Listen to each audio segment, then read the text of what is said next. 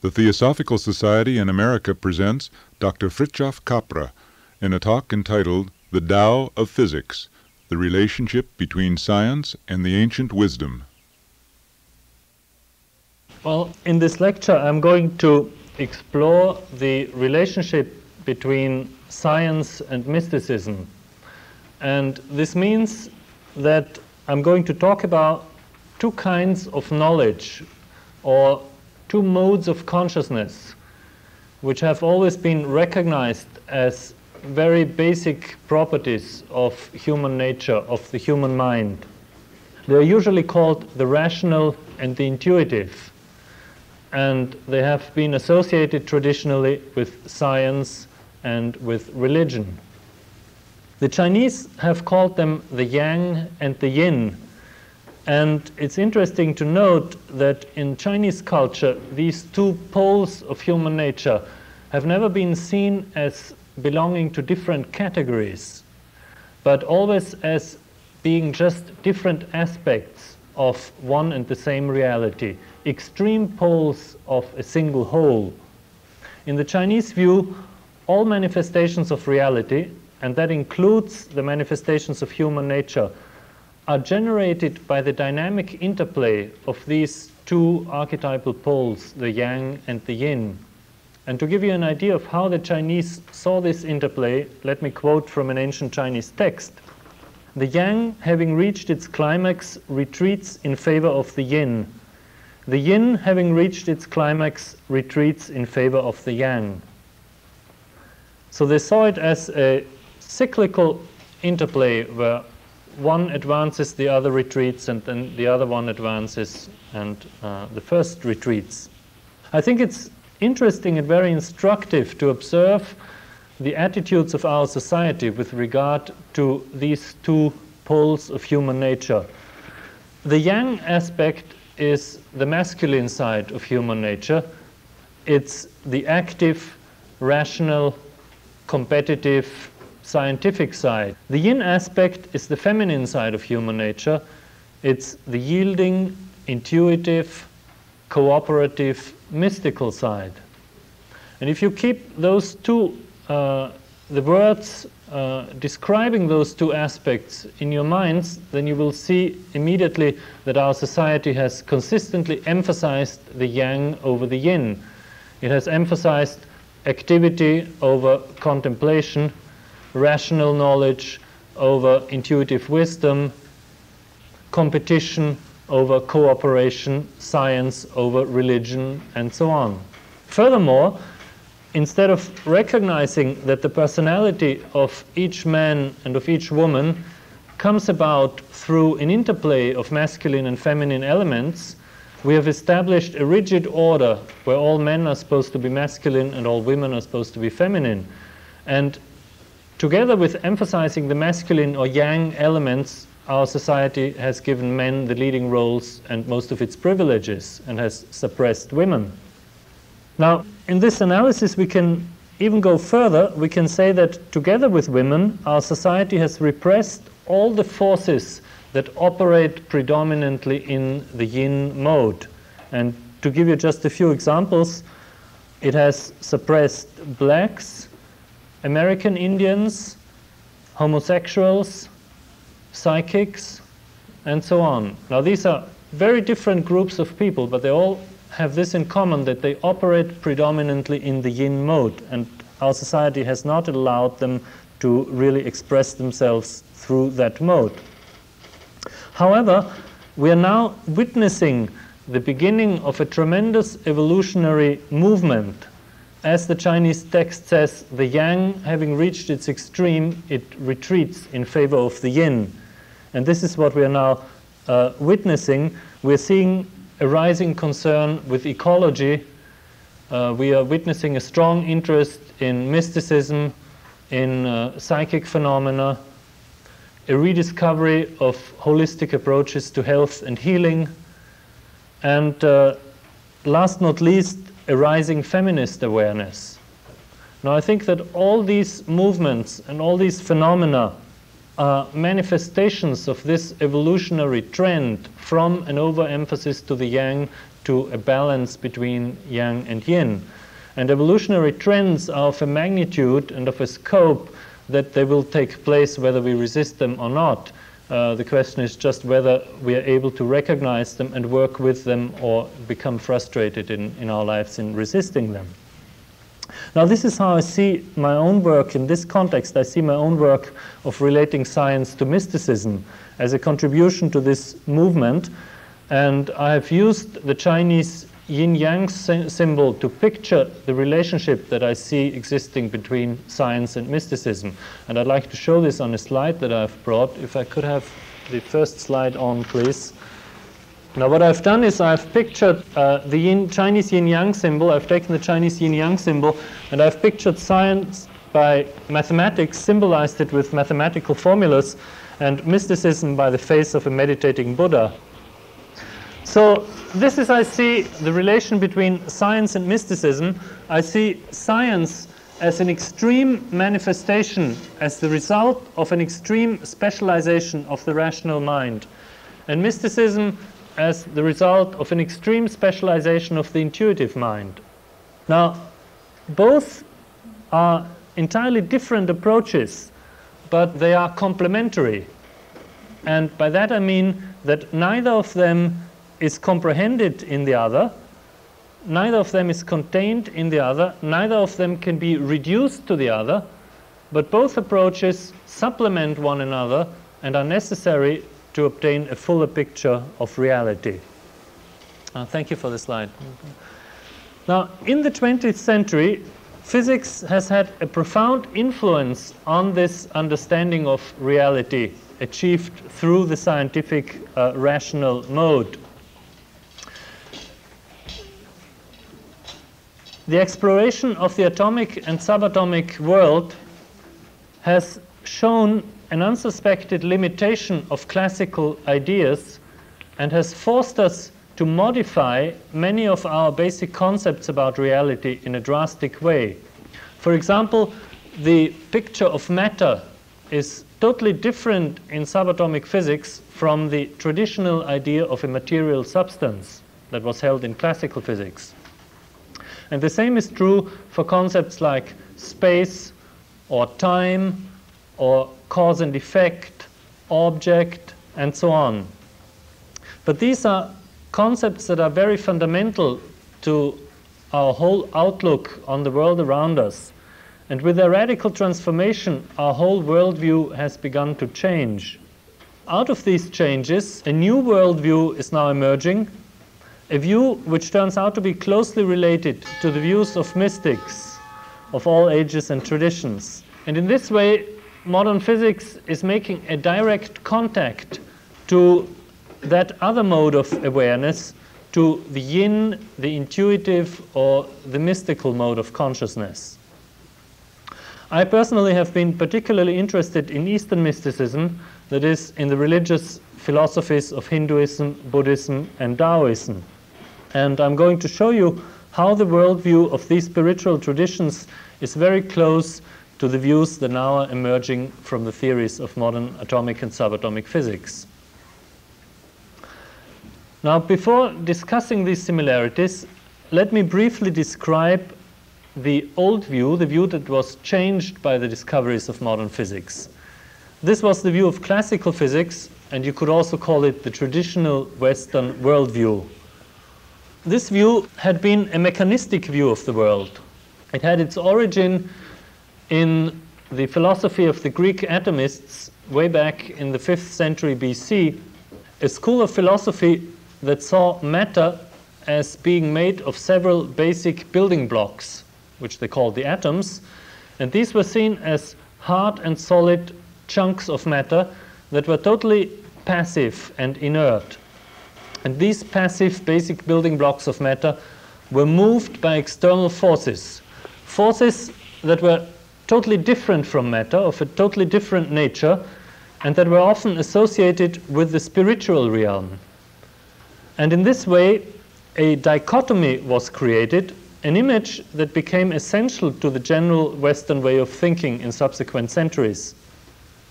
It gave rise to the dualism between spirit and matter. between the mind and the body, between the I within the body and the world outside. This dualism was formulated, perhaps in its sharpest form, in the philosophy of Descartes in the 17th century. Descartes based his whole view of nature on a fundamental division between two separate and independent realms, that of mind and that of matter. And because of this Cartesian division, scientists of the 17th century were able to see the world as being completely separate from themselves and as consisting of separate objects that worked together in some kind of a huge machine. Matter was completely dead and separate from the scientific observer. Such a mechanistic view of the world was held by Newton, who constructed his mechanics on this philosophical basis and made it the foundation of physics, of what is now known as classical physics. From the second half of the 17th century to the end of the 19th, the mechanistic Newtonian model dominated all scientific thought. And in fact, its dominance is still quite strong today in many of the sciences. And I hope we'll have an opportunity of discussing this either tonight or tomorrow. The influence of the Newtonian worldview on, say, biology, on medicine, on psychology, uh, and so on. Now, in contrast to the mechanistic view, the Eastern view of the world could be described or characterized by words like organic or holistic or ecological. It's a view in which the world is not seen as being made of separate objects, but rather as being fundamentally interrelated, fundamentally interconnected. All the phenomena we perceive with our senses are seen as being just different manifestations of one and the same reality. And our tendency to divide the perceived world into individual objects and events and to experience ourselves as isolated entities, as isolated individuals in this world, this tendency, so the mystics tell us, comes from our categorizing intellect, from our uh, categorizing rational mentality. Now, of course, they grant us that it's very useful and necessary to divide the world into separate objects at the everyday practical level. When we come into this uh, lecture room, for example, we deal with different chairs and different people and different people sitting on different chairs and so on. And we're very successful in dealing with the world in those terms. However, this is not a fundamental feature of reality. Fundamentally, there are no separate objects. And therefore, for the Eastern mystic, any such objects have a fluid and ever changing character. Because what you call an object, they say, depends to a great extent on the mode of consciousness you're operating in.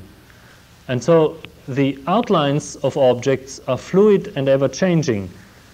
The Eastern worldview is always a dynamic view, and when I say the Eastern worldview, I really should say the mystical worldview because there have been mystics, as you know, in all uh, traditions, in all cultures, in East and West. Just for simplicity, I'll call it the Eastern worldview. So, this is always a dynamic view of the world which contains time and change as essential features. The cosmos is seen as one inseparable reality which is forever in motion, alive, organic, spiritual and material at the same time. I shall now try to show you how the main features of this picture appear in modern physics. Now, when I say modern physics, I mean the physics of the 20th century, which began at the very beginning of our century with sensational and totally unexpected experimental results.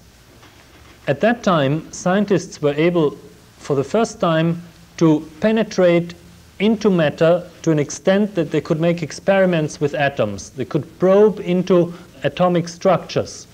And what they found was totally unexpected and very surprising to them. Up to then, they had always thought that atoms were hard and solid particles, the basic building blocks of matter. Now they saw that atoms consisted essentially of empty space.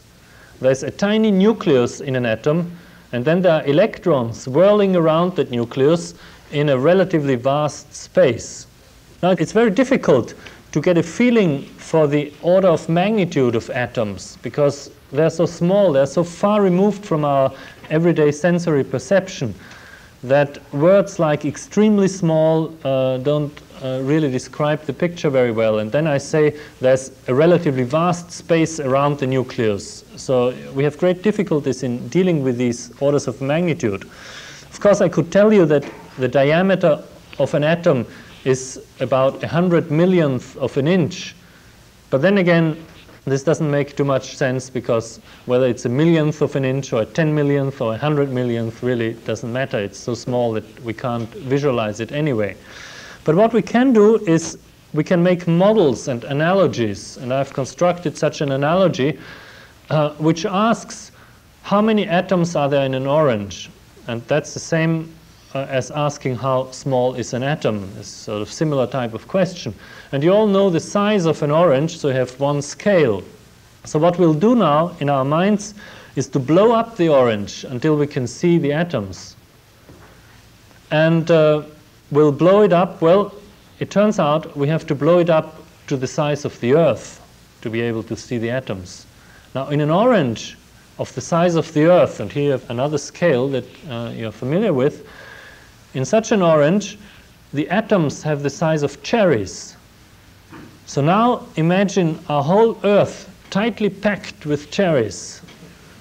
And this is a magnified picture of an orange and its atoms. And then take the Earth and shrink it down again to the, to the orange and imagine what the cherries do in proportion, and you get an idea of how small an atom is. So you see, an atom is extremely small compared to macroscopic objects. On the other hand, it is huge compared to the nucleus in its center. And to see that, well, we do the same trick again. We'll take out a cherry and see how big the nucleus of this cherry-sized atom is. Well, the nucleus is so small that you can't see it, so we'll blow up the cherry and we'll blow it up, say, to the size of a football. Well, you still can't see the nucleus. And if we blew up this atom to a size of a sphere that, say, could sit here on, on this stage, on this podium, you could still not see the nucleus because it's so small.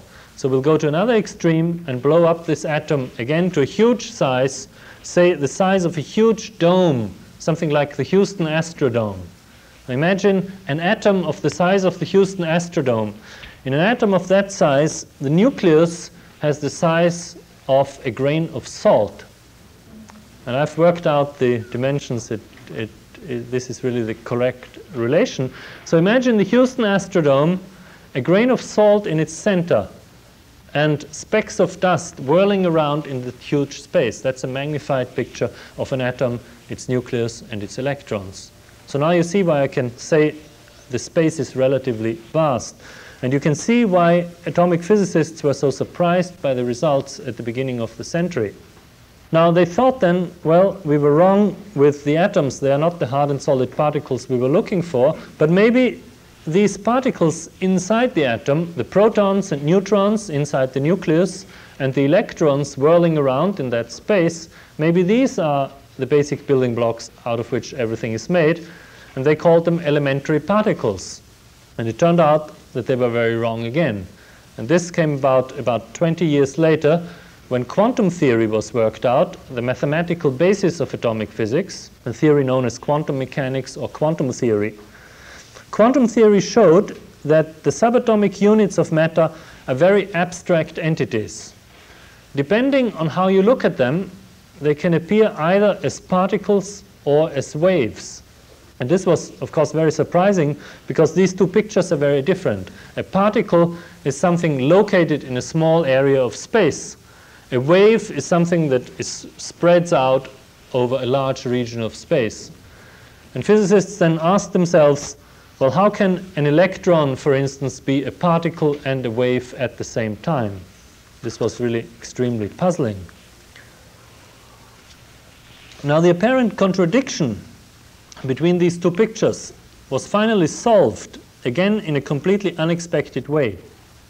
In a way which gave a blow to the very foundation of the mechanistic picture of the world. namely to the idea of the reality of matter.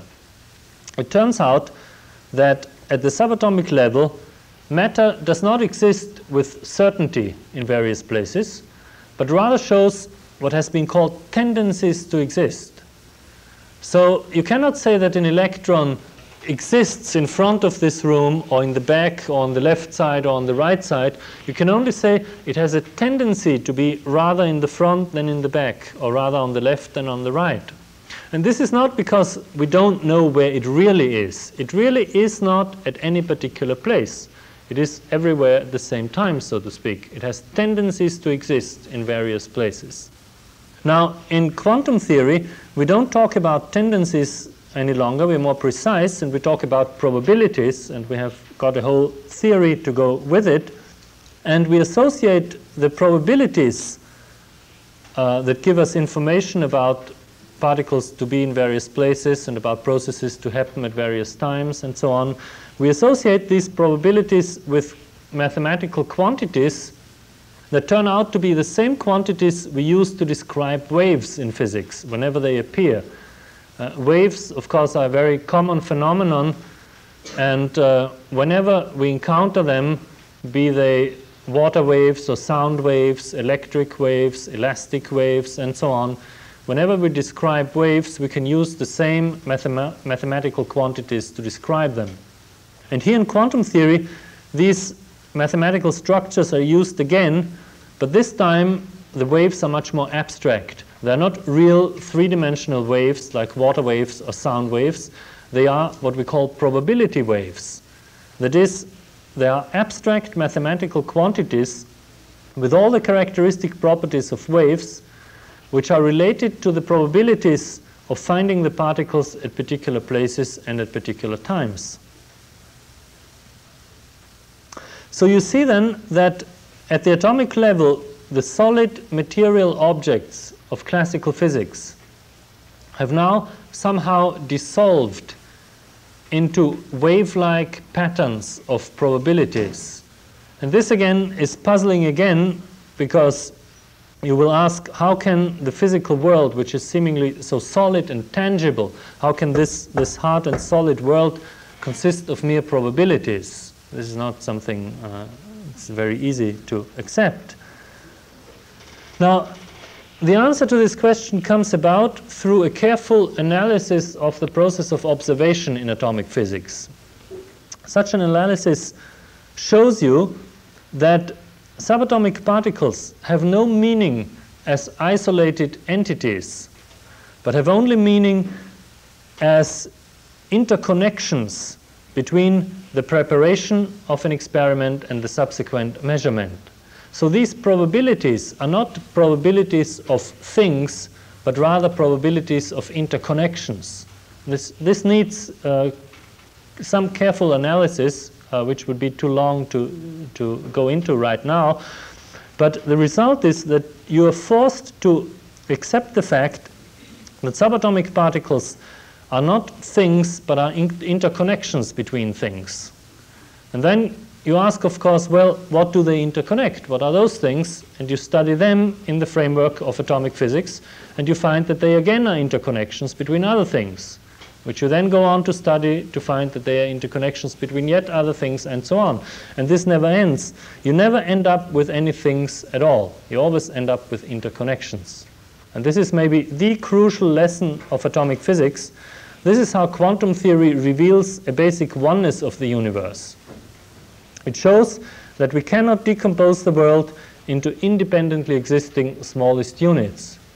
As we penetrate into matter, nature does not show us any basic, isolated, basic building blocks, but rather appears as a complicated web or network of relations, of relations between various parts of an integrated unified whole.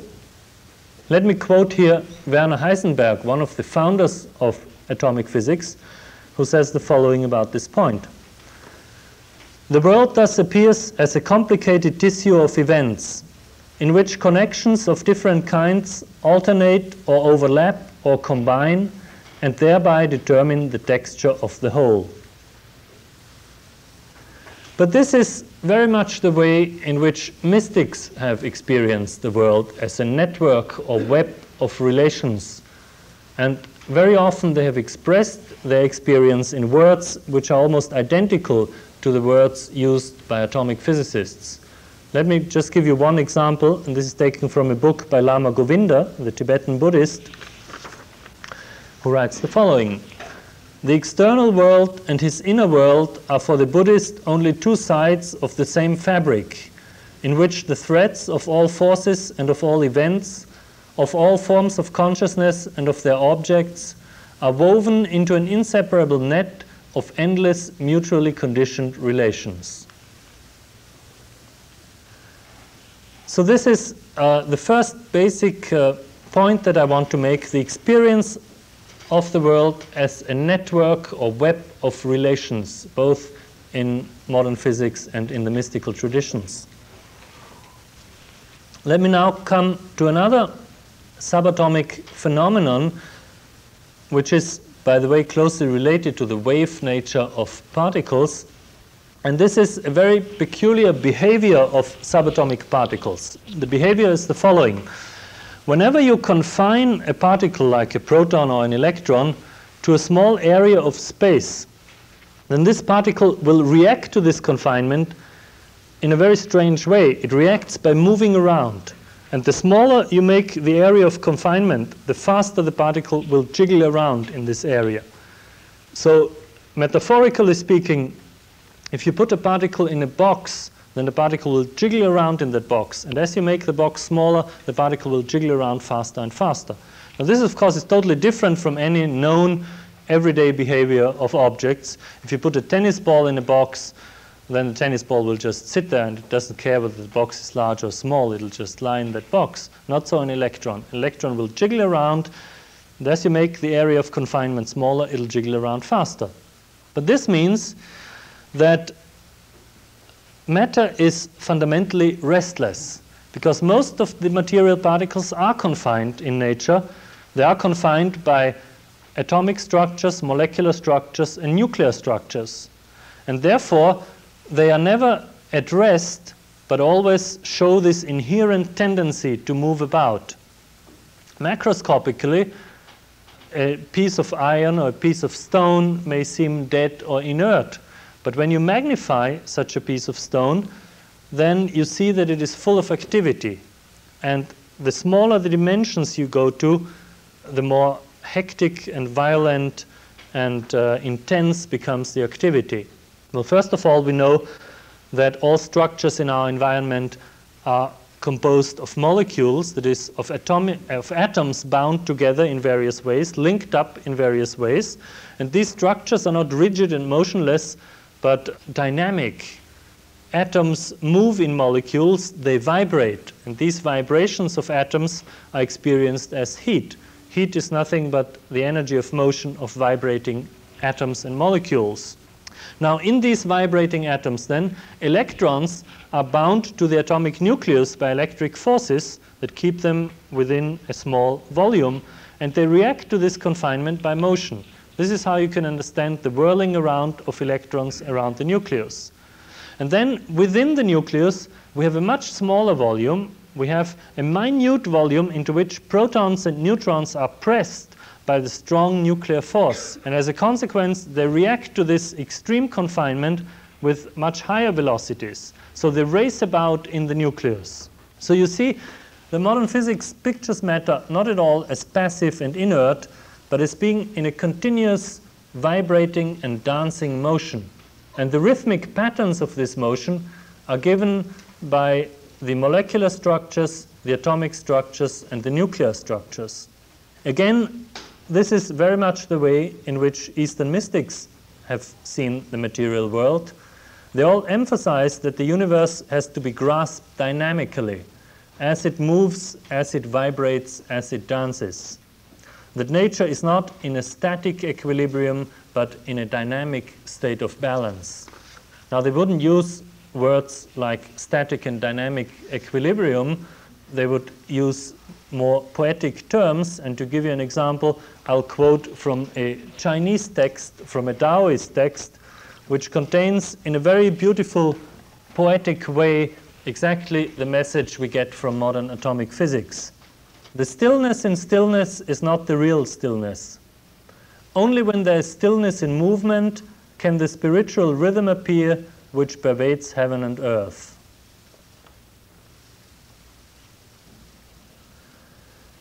Now, as we penetrate deeper into matter, things become more and more alive, things move faster and faster, and within the atomic nucleus, we get to a situation where the velocities of protons and neutrons in that nucleus often are so high that they come close to the speed of light. This extremely high velocity is very crucial for our description of physical phenomena because whenever we deal with phenomena involving these high velocities, we have to take relativity theory into account. So what we need then for a proper description of nuclear phenomena and uh, the interactions between particles at that level is a combination of quantum theory and relativity theory. And this brings me now to the second basic theory of modern physics, Einstein's theory of relativity. Now, I've given you the essence of quantum theory in 10 minutes, and I'll give you the essence of relativity theory in another 10 minutes. Uh, you have probably heard before that relativity theory has brought about a drastic change in our notions of space and time. It has shown that space is not three dimensional and the time is not a separate dimension as had been believed in classical physics.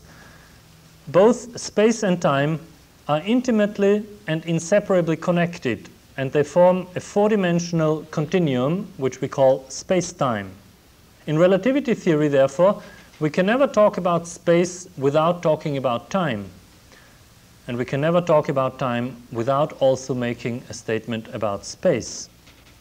Now, we have been living with relativity theory for quite a while now. Einstein proposed it in 1905, and we're thoroughly familiar with its mathematical formalism we are uh, we can use it perfectly well. It's a theory that has been proven and verified thousands of times, and we are perfectly familiar with it. I should maybe mention, since Dr. Melvin is going to talk afterwards, that there are two theories of relativities that have very different status. I'm talking here of what is called special relativity, and he'll be talking about general relativity, which is used at the realm of the very large in astrophysics and cosmology. And there the status of this theory is not so well confirmed. But at the atomic and subatomic level, we can use Einstein's theory with great confidence, and we are very successful in doing so. However, this has not helped our intuition a great deal, because most of us do not have any direct contact, sensory contact with this four-dimensional space-time reality. And therefore, we have great difficulties of conceptualization, of visualization, and difficulties of language when it comes to situations where we have to apply Einstein's theory. We can do it mathematically, we can predict experiments, and so on. The mathematical theory uh, involves no problems. But when we want to talk about it in ordinary language, we have great problems. Now, a similar situation seems to exist in the mystical traditions. The mystics seem to be able to attain non-ordinary states of consciousness or modes of awareness in which they transcend the three-dimensional world of everyday life, they transcend three-dimensional space, and they transcend ordinary notions of time to experience what they often call a higher dimensional or a multidimensional reality. A reality which, like that of relativity theory, is impossible to describe in ordinary language. And when mystics want to describe their experience in ordinary terms, they are faced with the same difficulties that we have to face in physics. Govinda, again, Lama Govinda, whom I have quoted already, talks about an experience of this kind in the following way. An experience of higher dimensionality is achieved by integration of experiences of different centers and levels of consciousness. Hence the indescribability of certain experiences of meditation on the plane of three-dimensional consciousness. Now, the dimensions of these states of consciousness that the Lama is talking about here may not be the same as the ones we're dealing with in uh, relativistic physics, in, in physics uh, using relativity theory. But it is striking that these experiences have led mystics to notions of space and time which are very similar to the notions we have now in relativity theory. Throughout Eastern mysticism, there seems to be a strong intuition for what you could call the space time character of reality for the fact that you can never separate space from time, that they are inseparably linked. This fact, which is so characteristic of relativistic physics, is stressed again and again in the mystical traditions. Let me just quote uh, from the Buddhist scholar D.T. Suzuki, who writes in one of his books on Buddhism As a fact of pure experience, there's no space without time, no time without space. Now, this could be an excellent motto for any textbook on relativity theory, because this is exactly the experience we have from Einstein's theory. I think you will realize and appreciate that the concepts of space and time are extremely basic for our description of reality. They are very basic for philosophers, artists, scientists, and just for our everyday way of dealing with the world around us. And therefore, if we modify these so basic concepts in an extreme way, then we will have to expect that we have to modify our whole framework for describing reality. And this is what has actually happened in physics. We had to modify our scientific framework. We are now talking about a relativistic framework a framework which is characterized by the fusion of space and time into one four-dimensional continuum. This unification of space and time has many important consequences. The most important maybe being the realization that mass is nothing but a form of energy, that every object has energy stored in its mass, even if it is not moving just by the by, the nature, by its nature of having a mass, it has energy stored in there, in that mass. Now, these developments, the unification of space and time, and the equivalence of mass and energy, have had a profound influence on our picture of matter and have forced us to modify our picture of a particle in a very decisive way. You see, in classical physics, mass had always been associated with some material substance, with some basic stuff out of which everything was made. In modern physics, we recognize that mass is a form of energy. And therefore, particles are not made of any basic stuff, of any basic material substance. Particles are bundles of energy.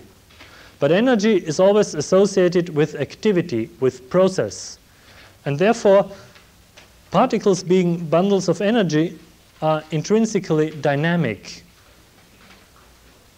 To understand this better, we must remember that these particles can only be pictured in a framework where space and time are unified into a four-dimensional continuum so that we can no longer make purely static pictures of particles. Any pictures like small billiard balls or small grains of sand or anything are outdated. We cannot picture particles in a purely static space-time uh, way. We have to understand their forms dynamically as forms in space and time. Particles are dynamic patterns, or you could call them patterns of activity, or as I've said, bundles of energy, anything like that. And these patterns have a space aspect and a time aspect. In their space aspect, they appear as objects, and as such, they have a definite mass associated with them. But in their time aspect, they appear as processes, and as such, they involve the equivalent energy. So you have these two pictures to play with the space picture and the time picture, the mass picture and the energy picture, the object picture and the process picture. And these are just two different aspects of one and the same reality, which is a four dimensional reality, a space time reality. Now, these are not just speculations of a, an abstract theoretical nature, but have very concrete experimental consequences. And perhaps the most spectacular consequence of this space time world of subatomic physics is the creation and destruction of material particles. This can happen when particles collide with one another with high velocities and therefore with high energies of motion. Uh, in such a collision, it can happen that the energy of motion of the two initial particles is used to create new particles in the collision process and will then appear as the mass or the masses of the newly created particles. So, what was energy of motion before is energy of mass after the collision. On the other hand, it can happen that particles are destroyed in these collisions and their energy of mass is transformed into energy of motion and distributed among the other particles participating in the collision. These high energies needed for these collision experiments are achieved in huge machines called particle accelerators, and you have the largest of these machines uh, right here in front of our doorstep, so to speak. You know, 20 minutes, I understand, in, uh, from here in Batavia is uh, the biggest particle accelerator that is existing at the moment. It's called the National Acceler Accelerator Laboratory or, or Fermilab. And in these huge machines, this particular one has a circumference of four miles. Particles are accelerated around this circular track to enormous velocities coming close to the speed of light, and then they're let out and made collide with other particles in a, an arrangement in a chamber called the bubble chamber, and the collision, the results are then analyzed. These experimental collisions, these collisions of highly energetic particles are the main experimental tool particle physicists use to study the properties of particles, and particle physics is therefore also called high energy physics. This is actually my field of research. I don't do experiments, I'm a theorist, so I just use experimental results. But the results of the experiments are crucial for our research in theoretical subatomic physics. Now, the experimental techniques have, been, have become so sophisticated that they can now not only measure the properties of these particles, they can detect particles that are created in these collisions, measure their properties and analyze them. They can also make the particles leave tracks in the bubble chamber which can be photographed. And I've brought uh, a few slides of these uh, particle tracks that I'd like to show. If we could have the screen again, please, and uh, slides. And you will see that these particle tracks are not only very important for uh, theoretical physics, but also extremely attractive and beautiful. Now, this is what is called the bubble chamber.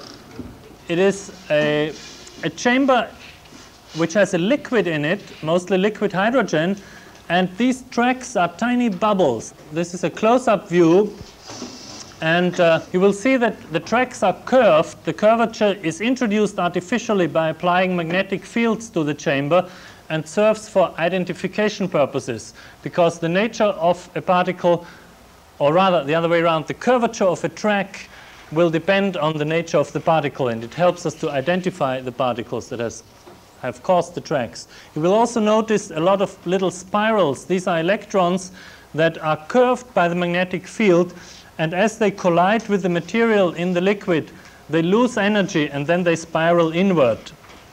Now, these pictures of particle tracks uh, show us uh, very vividly that matter is dynamic, that it is active, that it is, consists of ever changing dynamic patterns. All particles can be transformed into other particles. They can be created from energy and vanish into energy again. This slide shows a very spectacular collision experiment. On the left side, you have a collision between two single protons, and uh, about 15 particles are created in the collision. The fact that all particles can be transformed into other particles shows us very vividly that the constituents of matter do not exist as isolated entities, but as integral parts of an inseparable network of interactions. These interactions involve a ceaseless flow of energy, a dynamic interplay in which particles are created and destroyed without end in a continual variation of energy patterns. The whole universe is thus engaged in an endless motion and activity, in a rhythmic dance of creation and destruction. And here's a very spectacular picture of this rhythmic dance of creation and destruction. Now, this idea of rhythm comes sort of naturally into mind when you look at these particles, at these photographs. And to enforce this notion, I'll show you now a few patterns of this dance of creation and destruction of subatomic matter.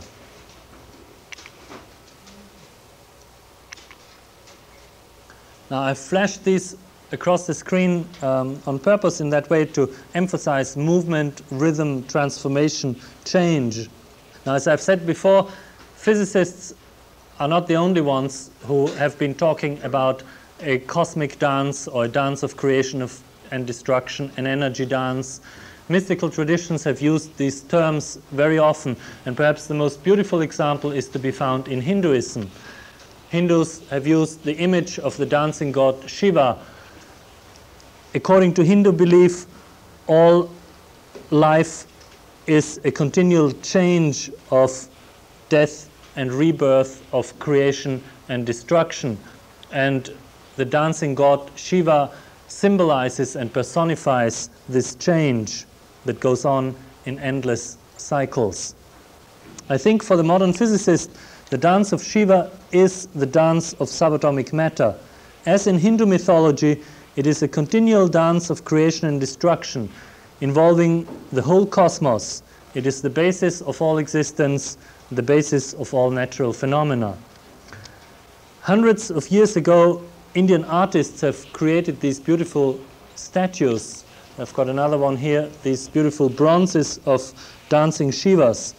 In our time, physicists have used the most advanced technology to create images of the dance of Shiva, which to me are of equal profound significance and equal beauty. And therefore, I've put them both together on the last slide.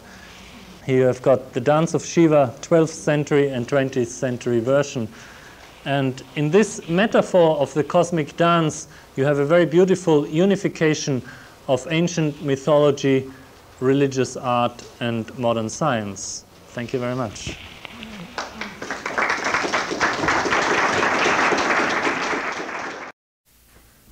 The Theosophical Society in America presents Dr. Fritjof Capra, Dr. Mel Melvin, and Dr. Rene Weber in a panel discussion on the Tao of Physics the relationship between science and the ancient wisdom.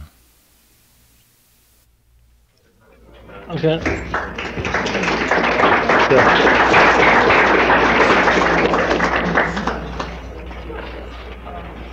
I'm, I was very happy to hear uh, Dr. Weber speak uh, because first when Dr. Melvin spoke, I thought, well, I agree really with everything he says. And in fact, I've given similar lectures in Berkeley about uh, black holes and red giants and things like this. But uh, when she spoke, I, first I disagreed very strongly, and then less and less as she went on. And now I think it's a matter of clarification rather than disagreement. But I think the clarification will be very stimulating for all of us. Now, I want to say that, well, this is pretty obvious that you don't have time in a one hour talk to cover you know, all these aspects of this uh, field and things we are talking about. But I was very careful in my book to write a long chapter on the framework within which I make my comparison. And there I talked about rational knowledge, research, meditation, and most, most of the questions that Dr. Weber raised. Not all of them, but most of them. Now, uh, to begin with, uh, I do emphasize always that science and mysticism are different, that I don't uh, attempt to make a synthesis or anything like that. And um, this is why I composed this symbol of the complementary nature of science and mysticism. Uh, one works predominantly in the rational framework, the other predominantly in the intuitive framework, and uh, the methodology is just very different in both cases. Now, I think the point which needs most clarification is that science does not deal with truth. And this is putting it in a stark way, but I think you can put it in that way. Science works in the rational framework, and the rational framework is limited. Whatever we say, all our concepts and theories in science are approximate descriptions of nature. We are not interested, at least if we are good scientists, we should not be interested in the truth. We should be interested in descriptions of phenomena. And uh, all descriptions are approximate. Now, this is different from uh, the mystical traditions where apparently truth can be experienced. In fact, maybe you can elaborate on notion of approximation in uh, the Indian tradition, which is a very fascinating subject about various modes of consciousness, you know, approximating truth. Now, another point which you pointed out, which with which I agree wholeheartedly, is that there's a difference uh, between science and mysticism insofar as science works on an accumulation of knowledge as Dr. Weber said, you know, we stand on each other's shoulders. Knowledge is accu accumulated, whereas in the mystical traditions, they rather talk about an emptying of oneself. And in my book, I quote Lao Tzu to that effect, who says that uh, one who seeks knowledge will increase every day, but one who seeks Tao will decrease every day. So this is a, a very fundamental distinction. The mystical insight experiences the essential nature of things, and the scientific method gives you a description of sort of more outward appearances. Now, when I say that the two are complementary, by that I mean that one is not better than the other. One can prefer one over the other, of course, but one shouldn't make a value judgment. Typically, in our society, we have overemphasized the rational, but then we mustn't go to the other extreme and overemphasize the intuitive. Uh, both have its values. I have paraphrased an old Chinese saying to say that scientists know the branches of the Tao and not the roots. Mystics know the roots and not the branches. But if you want to know the whole reality and deal with life successfully, then you have you need both. So mystical insight then experiences the essential nature of things, and there it's characteristic of this experience that the ultimate reality is experienced as being conscious in a very profound personal way. And at that level, I think, when you experience reality as being conscious, at that level, wisdom and moral values arise. And Dr. Weber said that the knower herself remains outside of science, which is true to a large extent, but recently there has been some change in quantum theory and in more recent developments. Physicists are now beginning to talk about consciousness. And if you study quantum theory carefully, then you have to realize that there cannot be a complete theoretical description of the atomic reality without mentioning consciousness. However, we can do quantum theory pragmatically uh, without mentioning consciousness. So consciousness is very new in physics. Physicists are just now beginning to talk about it. And I think that uh, moral values may arise and we may come to the point to deal with wisdom and moral values if this research and investigation of consciousness in the framework of physics expands. And there are people who, uh, who think like that.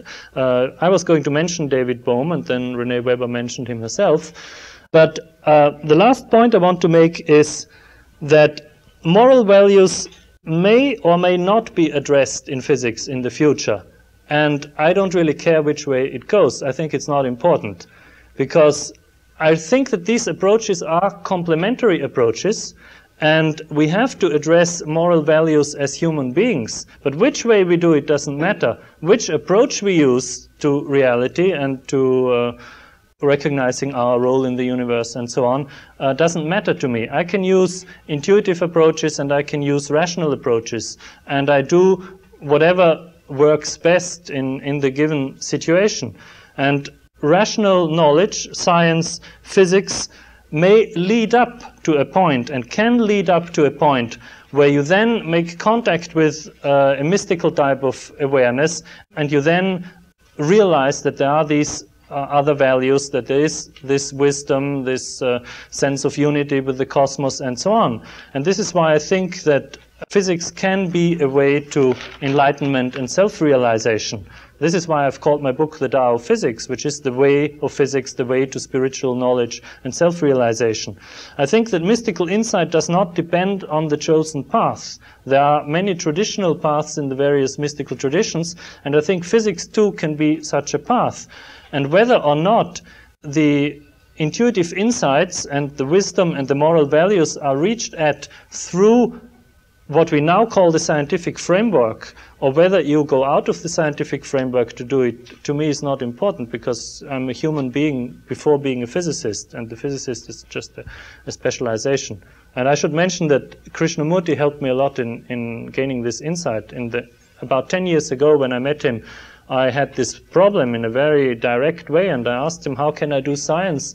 you know, with all you say about getting out of thought and freedom from the known and all that. And he said, well, you're first of all a human being, and then you are a scientist. And I think in this way one can do, one can combine both. All right, that's I think all I wanted to say. Well, the 10 minutes pass very quickly, so uh, perhaps uh, I will not get to say everything that uh, I wanted to. First, we were told that we are not good. Uh, and uh, I, I didn't mind that so much. I didn't mind that so much because it was not news to me.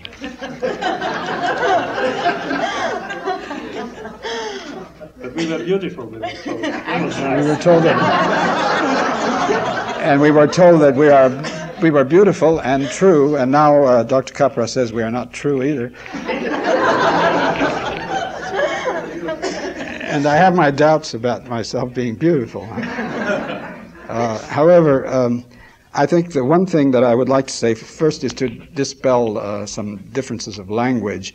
When uh, Plato or Rene refers to uh, the good, uh, I, I would rather think of love, because obviously that's the, the third element uh, that most of us would, would want to find in, in a highly enlightened consciousness consciousness becoming more uh, more aware than ever. Um, I don't really.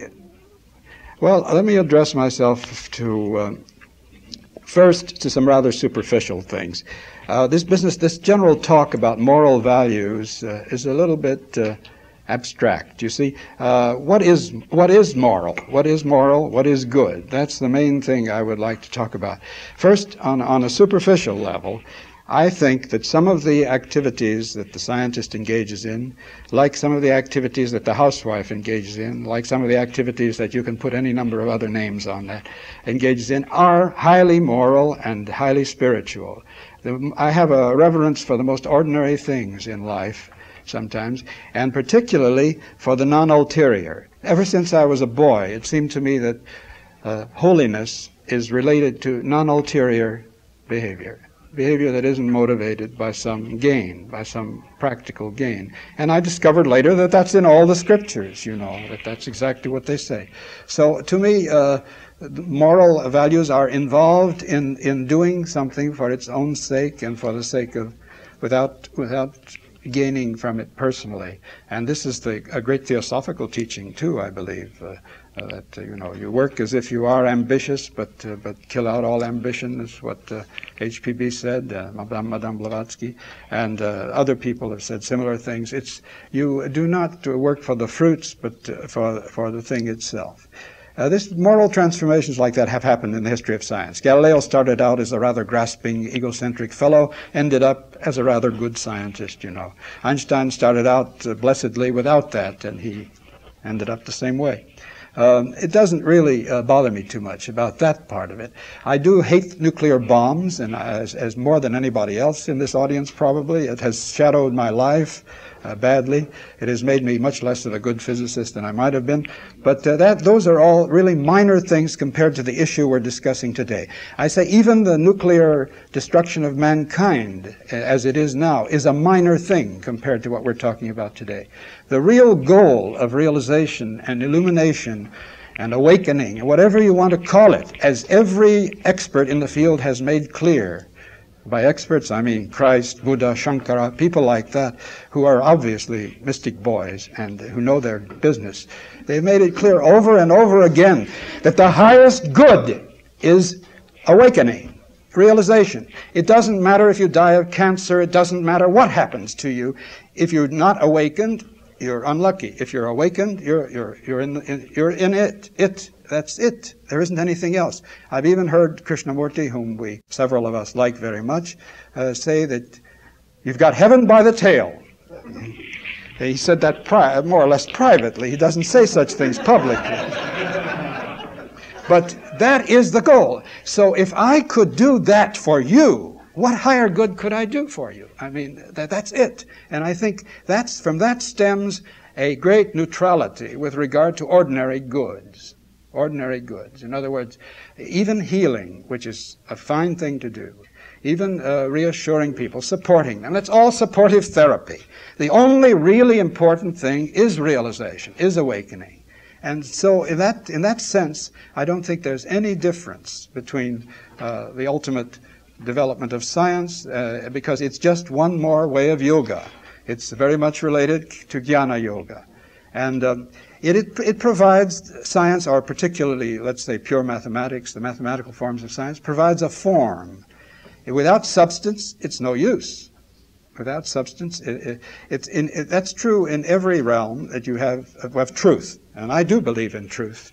I don't believe in the truth with a big capital T. I believe in lots of levels of truth because I've seen it happen that you go from one level to another. But that there is truth, I certainly believe. I don't think life is endurable without that conception.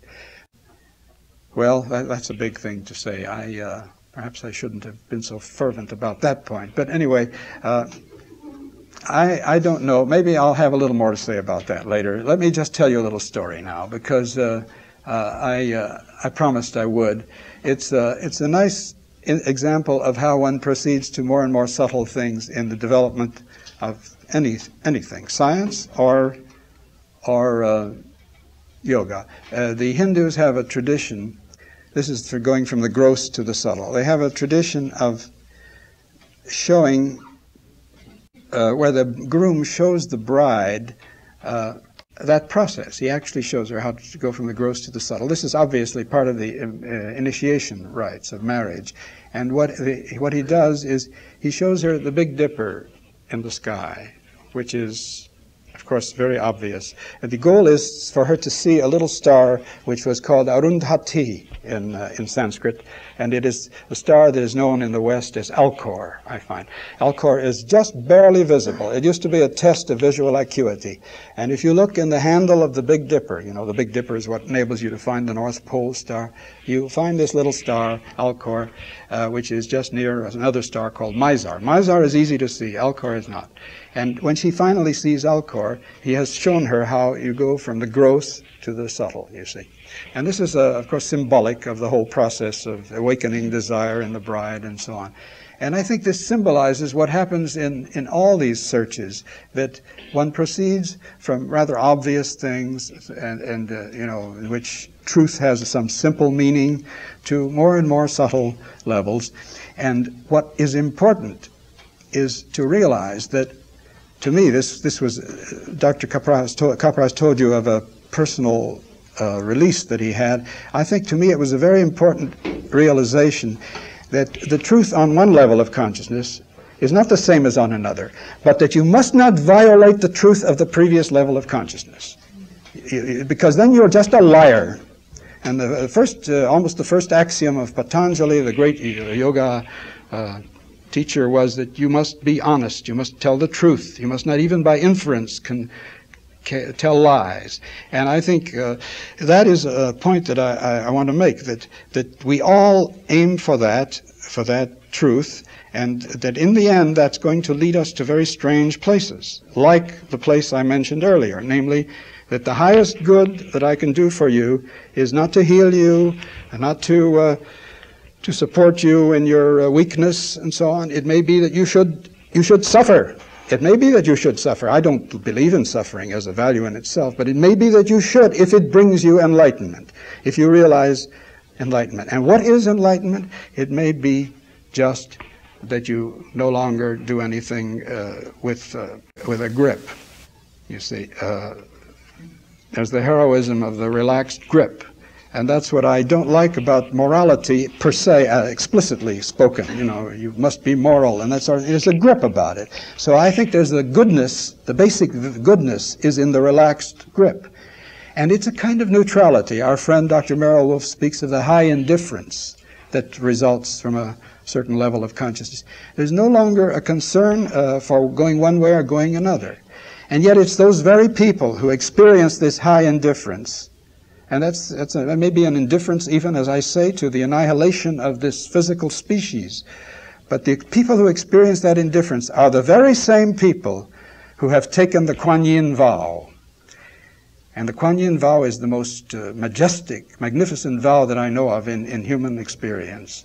It's the vow of the bodhisattvas, the vow of the people who are on the threshold of realization, who know what it's like to have total peace, total serenity that passes all understanding, who, who, who, could be through with this, this whole business, you know, living in this bad neighborhood that we all live in, and who turn back, and who take the vow that they will not leave, they will not go from here, escape from their little personal, tra- uh, you know, straitjacket that we're, each of us has, until everyone else, every other being in the universe is released.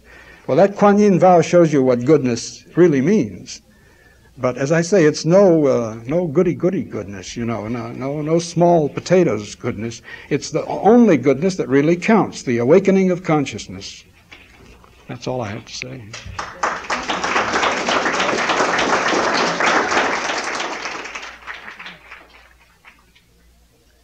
made this about young and old and fervent and not fervent before?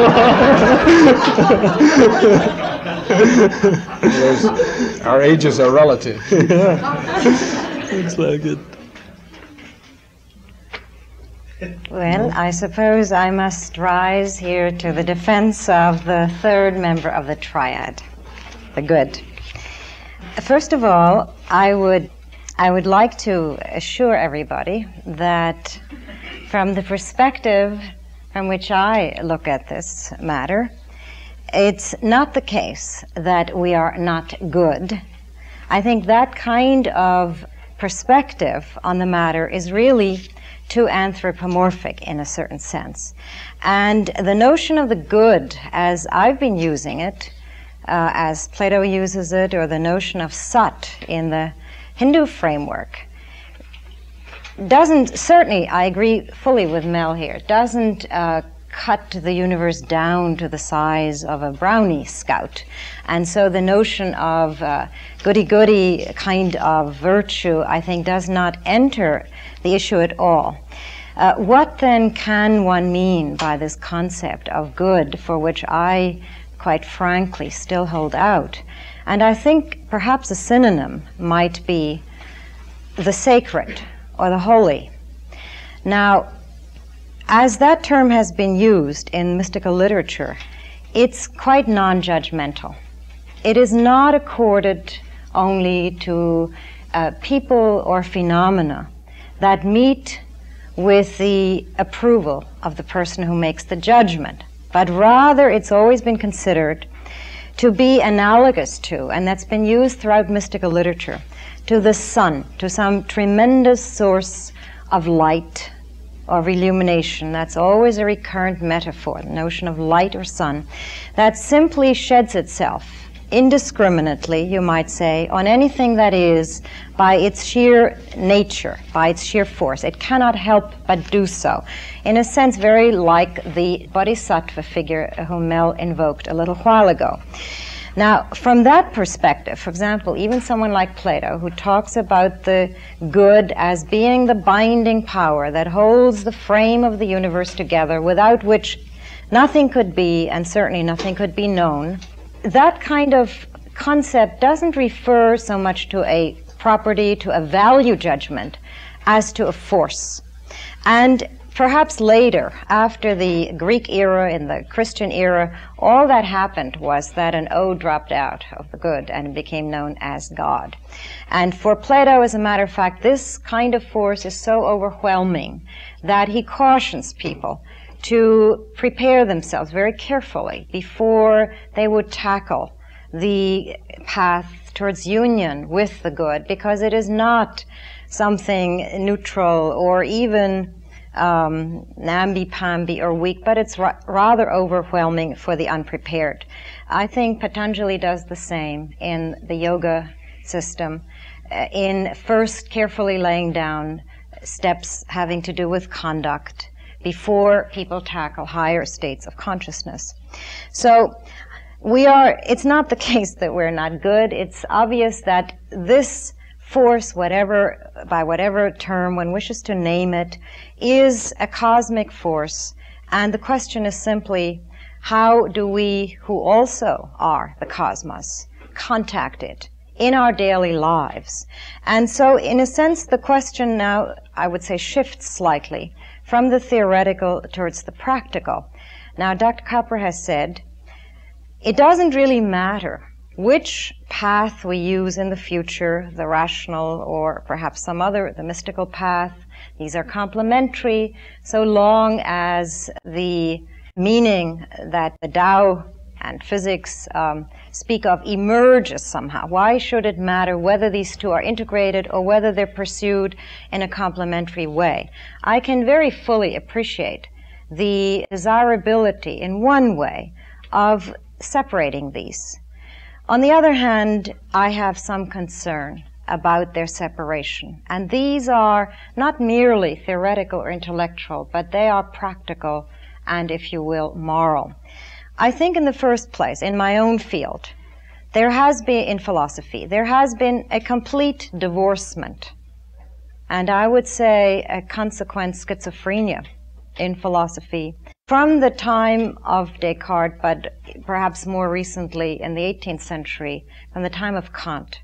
So that after that period, the is and the ought, fact on the one hand, value on the other, have been irreconcilably separated, and there has been no way to get them back together. What this has done, I think, even in the in the age of uh, atomic physics, this whole new revolutionary physics and particle physics and um, relativity physics, of which uh, Dr. Capra and Dr. Melvin have been speaking, even in that age, there has been not even the slightest hint as to how these divergences might ever be brought back together again. What difference then does that make, one might say? How could it, why should it not remain separated as long as the truth somehow gets out? I think the differences are manifold, but let me reduce them to two. First of all, I think we don't live in a vacuum. We live in a social context. In our social context, it so happens that science and the queen of the sciences, the root of the sciences, namely physics, um, is respected, is taken seriously as perhaps the dominant philosophy of our day. Therefore, what scientists, what physicists hold about the universe, I think, matters greatly. If uh, the rest of humanity is ever to have hope of guiding their lives by something that isn't just a matter of taste, social consensus, uh, poll taking, or personal preference, relativity in ethics. In other words, the ancient dream in both Hinduism and Buddhism, and certainly in, in the Greeks and Plato, of fusing what we know with what we are of fusing the truth about the world in which we live with the conduct of our interrelationship in our lives. That dream has been lost, and I would like very much to see it revived. So I think, on the one hand, if physicists would use their professional lives, their knowledge, to even hold out a hint of such a hope, it would be very helpful to all of us. I think, secondly, and as a matter of fact, I might just add here as a postscript, some few physicists seem to me to be pulling in that direction. David Bohm, who, of whom we've spoken, is one of them. Um, I think, secondly, it matters not just from the point of view of uh, the practical, but now from the point of view of, of the theory, of theory, of the theoretical. If it's the case, and here I'm going to extrapolate, if everything that physics has told us is so uncannily parallel to what ancient metaphysics has been saying, then one would be encouraged to believe by a process of extrapolation that other doctrines of ancient metaphysics, not yet verified in any way by physics, will also turn out one day to become verified. And so, just to use, I jump both feet now into Hinduism. Uh, in Hindu uh, cosmology, there are allowances made for the kinds of fields. I'm not saying that they're well elaborated or well described, but one can map them onto that. For the kinds of fields about which physics today is speaking gravitational field, electromagnetic field, something having to do with light, radiation, and so on. Um, perhaps even something having to do with particles this precipitation of Brahman of itself into specific delineable particles. However, a field of which Hindu metaphysics speaks as the highest field experienceable by a human being, namely something called a bliss field. Brahman is bliss, accessible, at least in principle, to all human beings and who the contact with which changes drastically our lives, our interactions, our compassion for one another. That kind of even direction has in no way yet, I think, been tapped by the best frontiers of modern knowledge. And what I've been suggesting is that it would be extraordinary if even the most tentative steps in that direction could be taken by those working at the frontiers, I think, of scientific knowledge, and that those are the physicists, the astrophysicists, and the cosmologists. I think I agree, you know, very much with uh, much what you say. In fact, I often uh, say in my lectures exactly what you said about uh, the the fact that physics seems to be closely related to mysticism, and therefore that the other uh, teachings of the mystics uh, maybe are not wrong either. And uh, I often say that uh, physicists are not yet listening to the mystics, but they will, because nothing impresses a scientist more than success.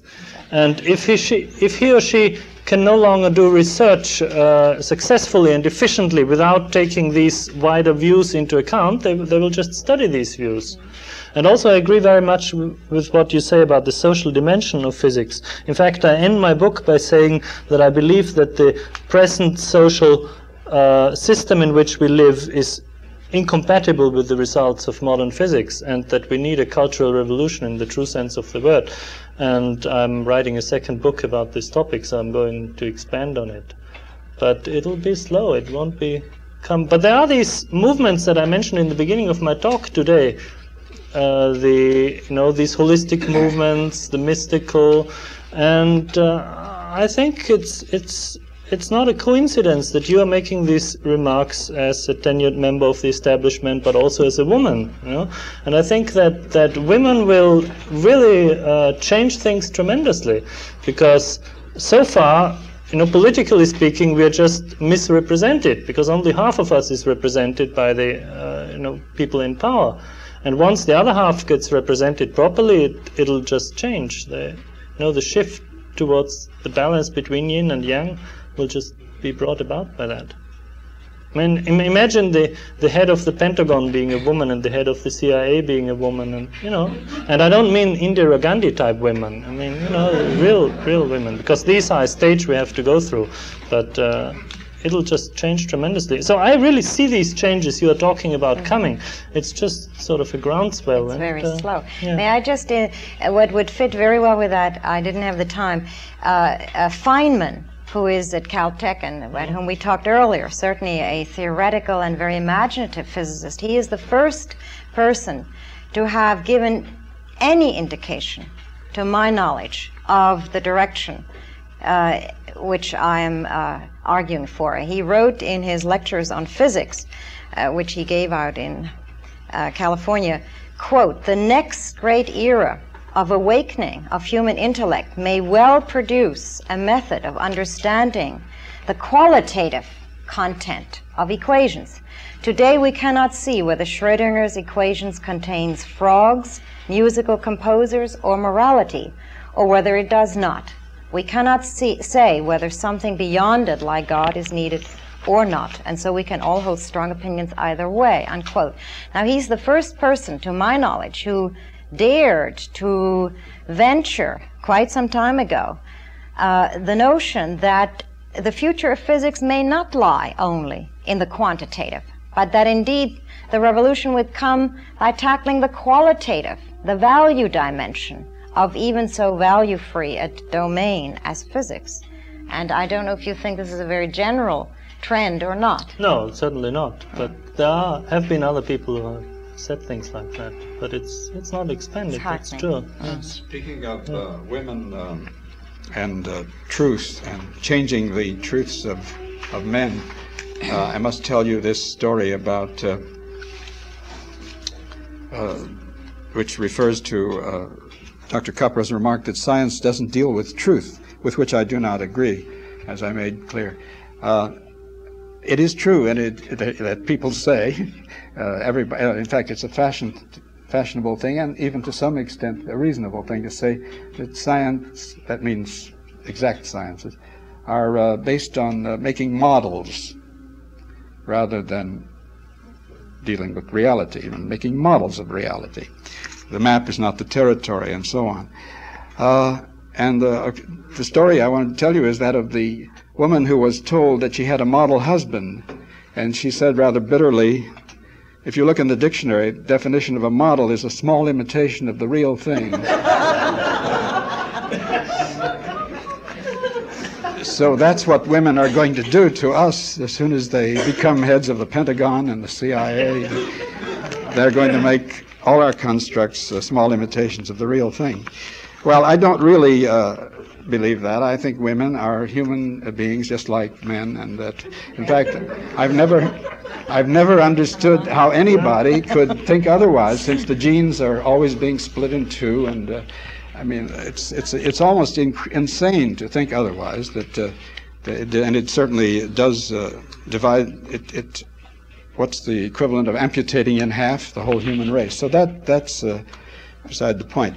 Now, as to what's happening in the world today, I uh, I suppose it's not the first time, and nor the last time, that people are discovering that the most important thing in their lives and the central thing, the first thing they know and the last thing they know, first thing they know when they come in and the last thing they know when they go out is their own consciousness. So, I mean, whenever I hear that so and so is the first to say something, uh, or this is news, uh, I'm always very surprised because it's been around for a long, long time, uh, ever since the consciousness was here, and for all we know, that's always. And uh, so uh, that uh, that's not a that's not a new problem. However, I th- again I, I cannot help but hammer away at the first and foremost problem, which is uh, to make the consciousness more alive, which is what it's all about. And that often has a very simple meaning. I mean, all these, uh, Dr. Capra has these nice quotations, which are great classics in the field, you know, of what does what does it mean to uh, to be realized, to be illuminated. Well, it all, ends, it all adds up to the fact that every one of us is realized, but we don't know it, you see. Uh, we, don't, we haven't realized that we are realized. Because, for example, one great Zen master says, uh, when he's asked, uh, what is Zen, he says, eat when hungry, sleep when tired. Something like that, you know. I mean, it's back to the simple things of life, but without the great involvement, without the confusion, the complications that uh, we have created. Uh, so I'm not so sure that the answer is going to consist of uh, uh more and more intricate equations and uh, analyses. And uh,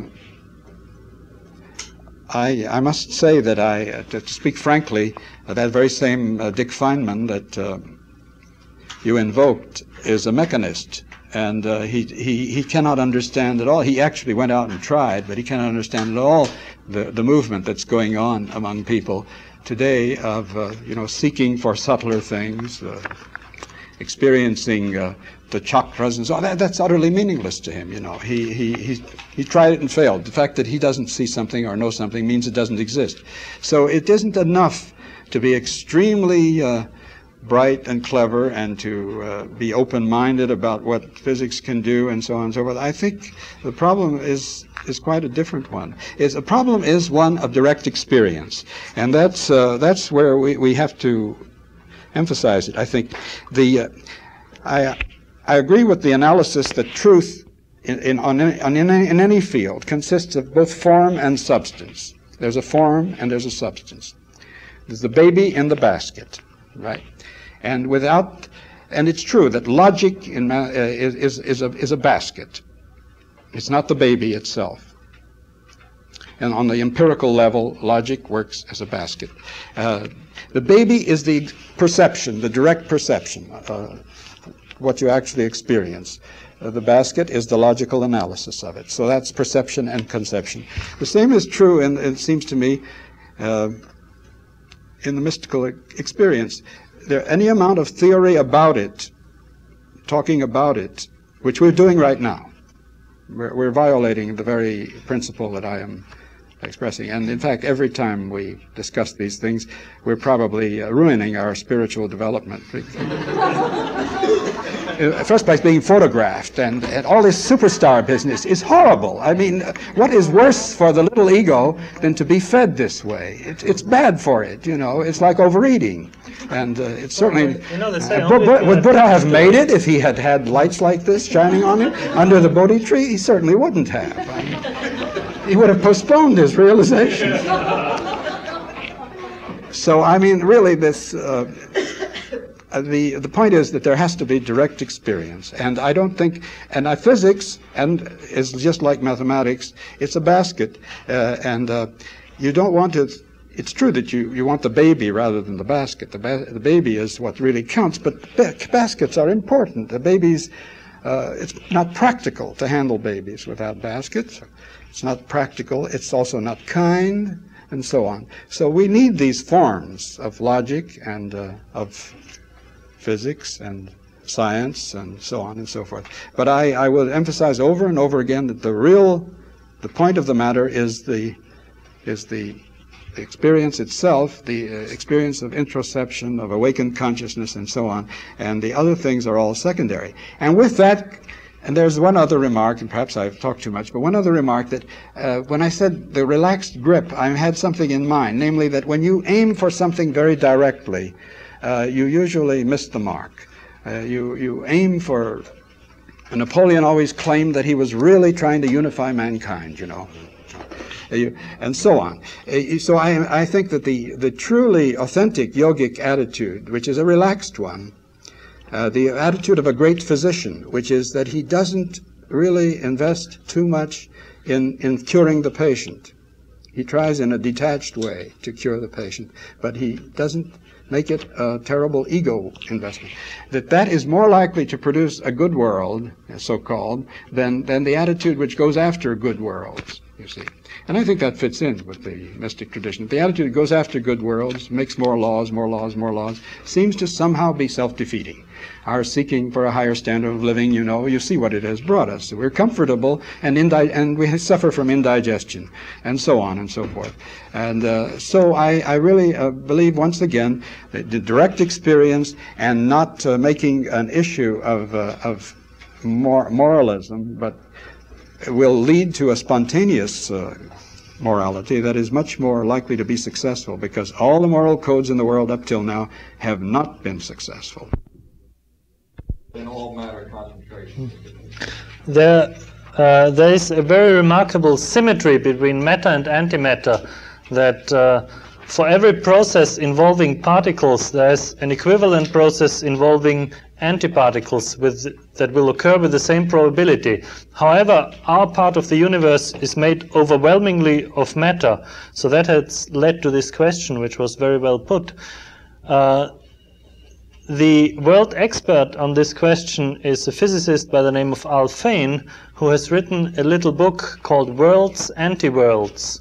Who asked the question? Can I? Uh, uh, yeah, it's called Worlds, Anti-Worlds, and Alfvén is spelled A-L-F-V-E-N, and I have the exact reference in the bibliography of my book. And uh, he says in that book that uh, it's not known that cosmologists, and maybe you can comment on this on the present situation because is, the book is about 10 years old. Cosmologists do not know whether uh, there are whole galaxies of antimatter, where, whether half of a galaxy is antimatter. We don't know where it is, or they don't know where it is. What they know for sure is that our solar system consists all of matter. Maybe you could just take yes, on from yes, there. Uh, this is more within my province. The um, situation is that uh, there is no good evidence of large quantities of antimatter in the universe. Uh, there is only this general principle that there ought to be uh, as much antimatter as matter, if nothing else matters. I mean, uh, there is a strange asymmetry. That's one of about seven overall properties of the universe that I listed in a report I just prepared. I sent out a paper just before I came here. That's why I didn't sleep for several nights, and I'm so, I'm very fervent, as you notice. Uh, the uh, the point is that uh, uh, we ha- the, uh, the reason we do not think there's any antimatter in the vicinity of our galaxy, in the neighboring galaxy the, either, is that if there were, there would have been a lot of annihilation radiation. You see, whenever a particle of matter meets a particle of antimatter, uh, they annihilate. Uh, if they, uh, if particularly if it's, a, if it's a simple kind of matter and antimatter like electrons and positrons, which are anti-electrons, they annihilate into light, just radiation. So the total conversion of the mass into radiative energy. Now we know that that is not happening in anything like the amount that it would happen if there were if there was antimatter around. So if there are, is antimatter in the universe, it exists in separate superclusters probably. You see, it would have to be a supercluster away, which you know, I showed you about the order of 100 million light years away to the next one. And there might be cells of matter and antimatter.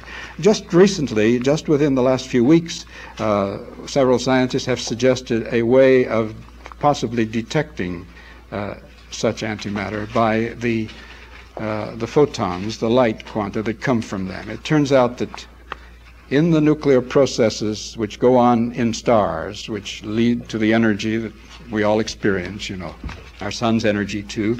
Uh, there are there are certain types of interactions known as weak interactions. One of the four fundamental interactions. In the weak interactions, the symmetry between right and left breaks down a little bit, and likewise the symmetry between uh, antimatter and matter is broken, just to balance each other. So that it turns out matter is left-handed and antimatter is right-handed in these weak interactions, and so the handedness of antimatter would show up in, in the electrons coming out of these weak interactions in antimatter, and that they would be transmitted, handed on to photons. Electrons create photons in certain ways, and we would observe those photons. Um, 100 million light years later, 100 million years later, you see, and we would see uh, from the handedness of the photon, we would be able to tell that it was an antimatter source rather than a matter source. So there is some possibility, actually, uh, most likely with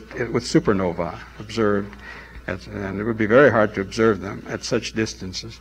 Uh, that, that maybe there, there is as much antimatter as matter in the universe. You realize you're getting the hottest new results just a few weeks old. Yes. I must tell you a limerick, too, uh, on this. Uh, it goes like this. You see, sometimes this antimatter is called contra terrene because matter is terrene. This is terrene, uh, of the terra, of the earth. Contra terrene. So the limerick, which I learned many years ago, goes like this There was a young spaceman named Gene who ventured forth nevermore to be seen. Out in space, he essayed the embrace of a girl who was contra terrene. and you see, that was a real shotgun wedding. supreme bliss. I have one more written question. If antimatter is existing in large quantities, it would be moving backwards in time, where probably we wouldn't be able to detect it. No, maybe I can answer that. Past our time. I'm afraid uh, that's an example of taking uh, an as if as if it were substantial. Metaphors, you know, are only as ifs. Uh, antimatter, as antimatter, behaves like any uh, uh, and like matter. It goes forward in time. It's only there's an as if there that if you want to, you can describe it as matter going backward in time for certain purposes. I'm afraid Dr. Capra. Uh, well, he will explain further. He only meant that. Uh, Yeah, no, by- I was just saying there was a slight confusion that antiparticles can be interpreted as particles moving backward in time. So antimatter could be interpreted as matter moving backward, but as antimatter, as uh, you said, it moves always forward. So there's no, no problem. And it's not quite sure how uh, how basic one should take those interpretations. They're based on a, Right. just on a certain model, a very small imitation of reality. but by the way, I do want to say one thing that's relevant. I think that to you uh, you did not say in your book, and in fact I've never seen anybody say it. If you want contributions of physics to uh, to God, who needs it like hole a hole in my head. Well, uh, I don't uh, mention God in my no, you, you, you, I mean, if you want it, there's a very interesting fact about this same type of theory, which is quantum field theory and perturbation theory, that is really very striking. That is, if you take one of those electrons or positrons, the particles moving along in space, they're continually creating and destroying photons in a certain sense. What we, uh, you know, uh, virtual photons, uh, which uh, Dr. Capra indicates very nicely in his talking about in the book and talking about things that are, in a sense, neither exist nor don't exist, or both exist and don't exist. You, there's a, they're called virtual particles.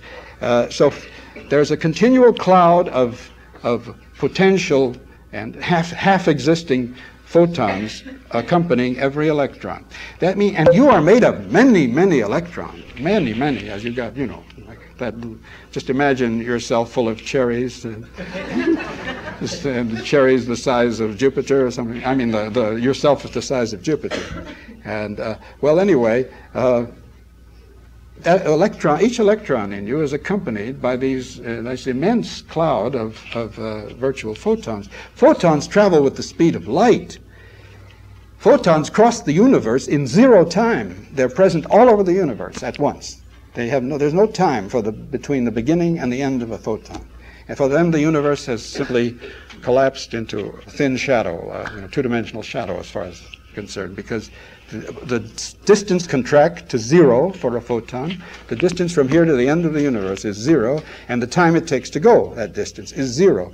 So you are made up of omniscience, little entities that are little gods. I mean, they're like God. They're omniscient. They're and they're omnipresent all over the universe. That is a, a direct uh, transcription into uh, extremely unreliable language of, uh, of what, uh, what the perturbation theory and quantum field theory says. Can we get into that a little more deeply tomorrow? I think it's mostly there, it it might be the hour, I'm not sure. But, uh, I'd like to try that at 10 o'clock tomorrow morning, in case we contradict something. You're there too.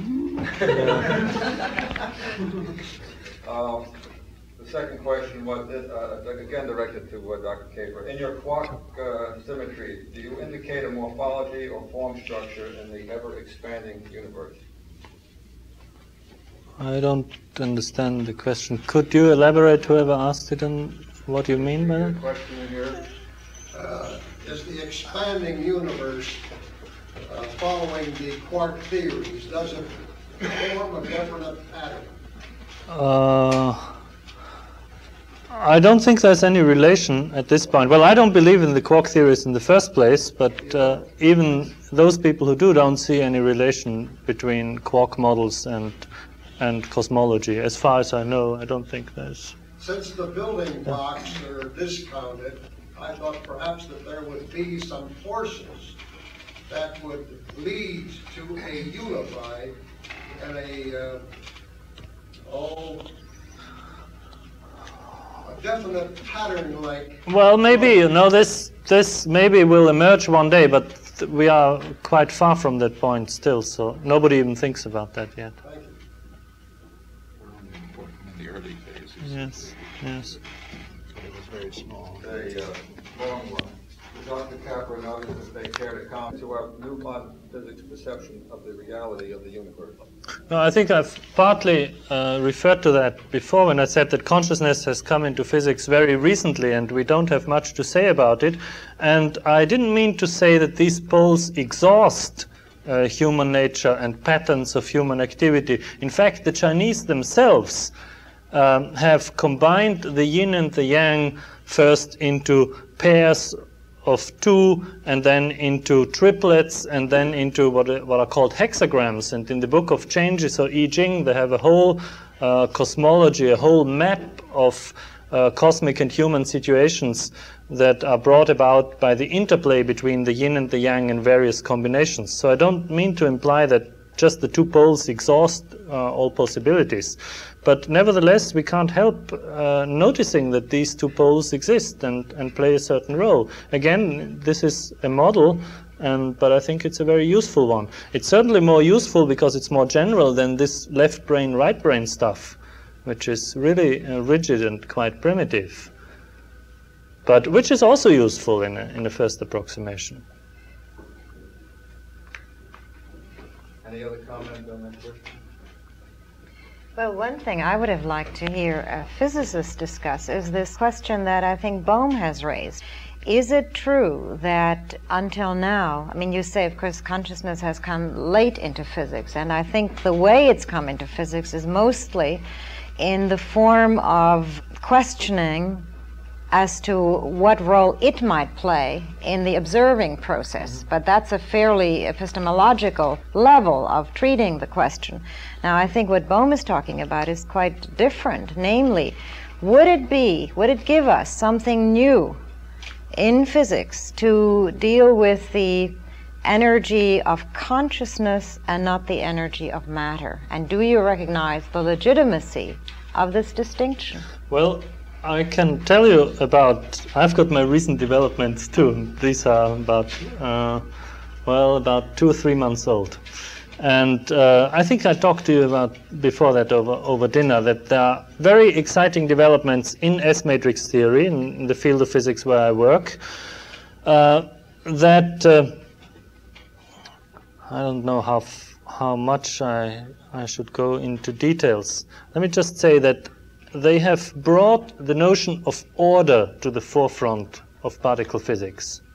That uh, the notion that those processes, those interactions between particles, and we're talking only about strongly interacting particles here, about hadrons, those interactions between hadrons, which are the most ordered in a certain sense, which we can well define, those interactions and processes are the most likely to happen for those, the probability is the strongest. So in the first approximation, we consider the most ordered ones, and then we introduce this order in successive steps.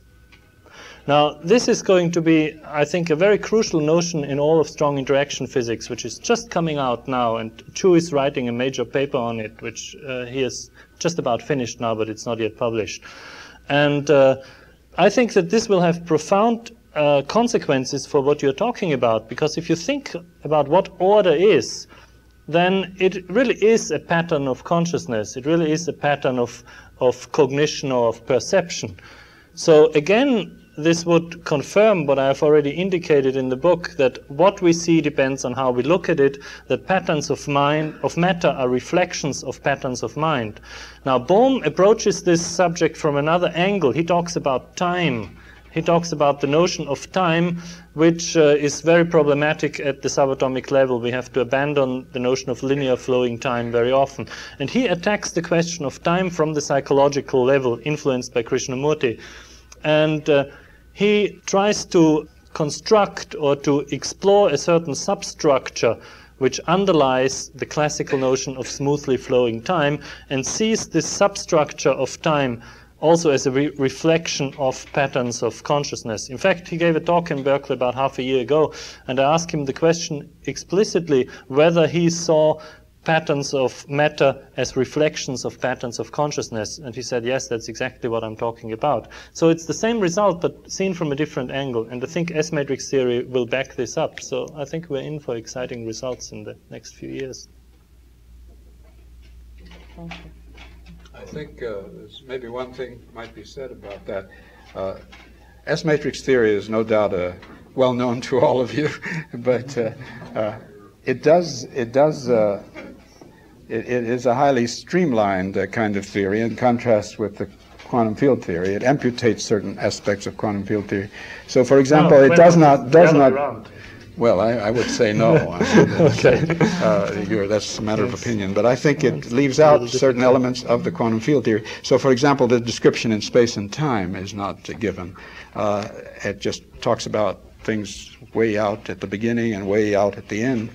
But uh, the point is that by not by not introducing space and time, I'm really giving you a little uh, a little boost uh, in, in by not introducing it in the structure. It's it's sort of open as to how you're going to interpret uh, the ordinary passage of time. And I think one thing that may not have been mentioned uh, and is not very generally thought about, I believe, is that may, we may someday find that we want to replace the usual conception of time by even more radical interpretations than, than when Newton's view was given up, and in which, for example, we replace it by uh, some struct, some formal formalism from information theory. Bits of information put together in a certain way would make up uh, what we call time. Well, that's what Bohm is talking about. Is know? it? I Yeah, very haven't- much. I haven't seen his Yeah, he introduces a certain algebra and, and topology and. Oh, I um, see. Well, then he's, on, he's on the right track. This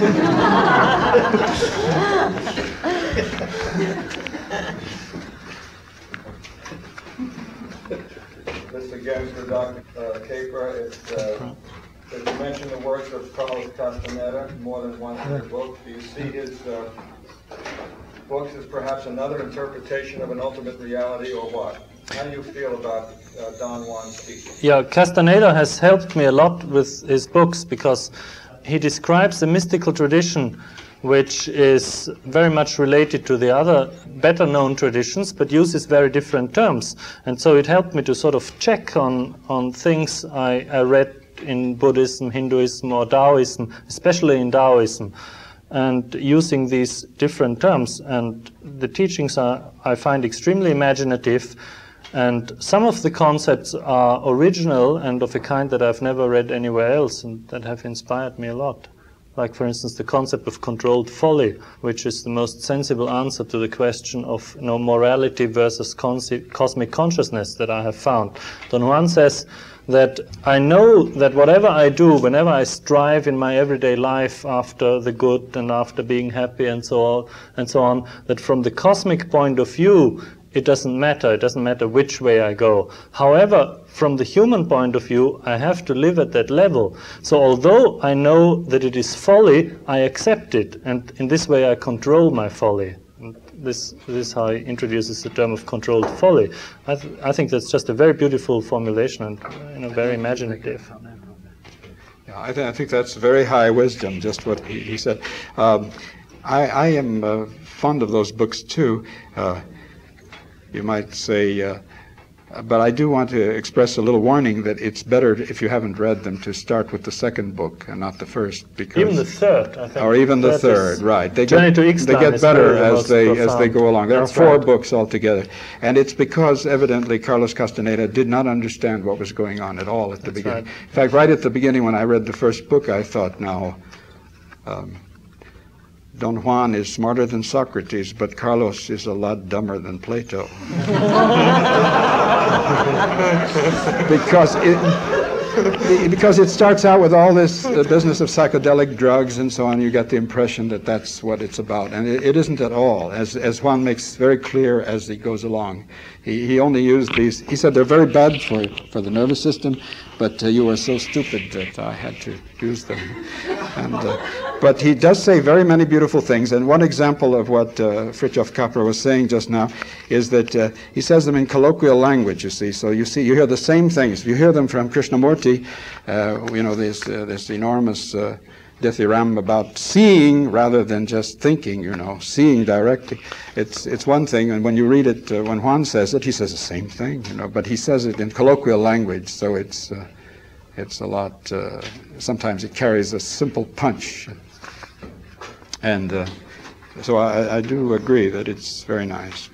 Can we take a two-minute break to uh, change tape? Well, maybe we can speak off the record in the meantime while they. No. okay. Unless we talk something else. Too bad. This talk will continue on the next CD. I have a difficult name, Fritjof. Sure. Now, you take the reminder of the last question on Castaneda, would like to follow up with another short question? I want to know if you saw Don Juan's concepts of power to be purely metaphorical and allegorical. No, no, very real. You can experience them yourself. That's one of the things you can really experience. The whole, all the teachings that, that are in Journey to Ixtlan, you can really experience yourself. They're closely related to the Taoist concept of, of De, which is in the Tao Te Ching in the title, which is also often translated as power or, or virtue. It's uh, the fact that you, um, you can develop your intuitive spontaneity to a point where you sort of tune in with the universe. As the Taoists would say, you flow within the Tao, you flow in the current of the Tao, you recognize its patterns and you can adapt to them. And if you flow like flowing in a river and adapt to the movements, then you can do things which you won't think that you can do. So other people who watch you uh, will think uh, that you're just lucky. You know, you do feats that are you know normally impossible to do, and because you you develop your spontaneity and uh, your intuitive sense, and then people would say, well, that was just luck, and this is precisely what Don Juan says. He says there's there's a passage where he says power is like personal power is like a feeling. It's like being lucky. And that's a feeling you can have. You know, I haven't had it often, but sometimes, at rare times, that I, you know, could do things, you know, that were just I didn't think I was able to do them, and it felt like being lucky, but it was this personal power. So I uh, give an it's very example real. from uh, Sure. Uh, just as an example of this, at the beginning of the journey to Ixtlan, uh, Juan is Don Juan is trying to uh, train, so to speak, Carlos in in the unexpected, in, in dealing with things spontaneously. So he's doing things unexpectedly, and, and Castaneda is getting extremely disturbed uh, psychologically. And finally, he says. You're driving me up the wall with your unexpected behavior. And Don Juan says, You're driving me up the wall with your expected behavior.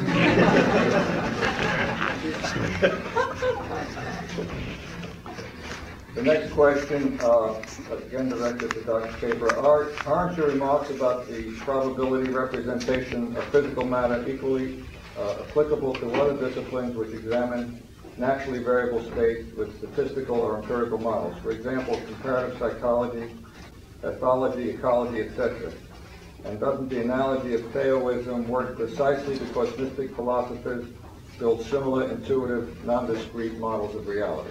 I think I would like to talk about this tomorrow because this is a whole wide subject. The, the possible implications of uh, these concepts for psychology and for other fields. I think if it's that would be a very interesting area to get into tomorrow. if you don't mind. Because uh, that's something I'm really interested in, and um, I've I've had discussions with psychologists and and physicians and people in various other fields over the past two years that, that I'm going to turn into a book, and I'm really very interested in the whole aspect, but it will take a long time now. When you run out of those, uh, I, I, wonder if I may ask uh, Fritjof a question too. We might have to wait a little while.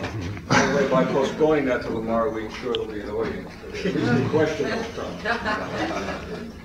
Uh, this is to Dr. Melvin. Uh, the uh, questioner would like you to speak about introception, but I'll only give you Start counting. Can you do it? Well, either you have it or you don't.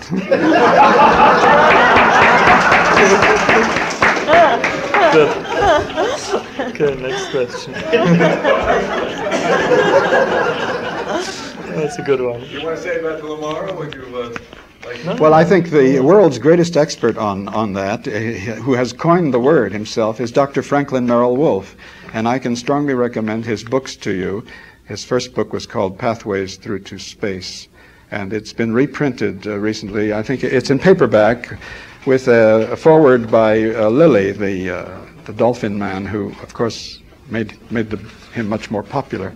Lilly says that uh, encountering Franklin Merrell-Wolff's work uh, restored his optimism. I mean, he, he had lost faith in the future and, this. Uh, and uh, Dr. Wolff is indeed a Western yogi, an authentic Western yogi. He was trained both in mathematics and in philosophy. He was at, at Harvard at one time. As a young man, he left that career and devoted himself to uh, yoga in the widest sense. And he, uh, he, went, he had a very, very profound uh, realization experience in his uh, late middle life.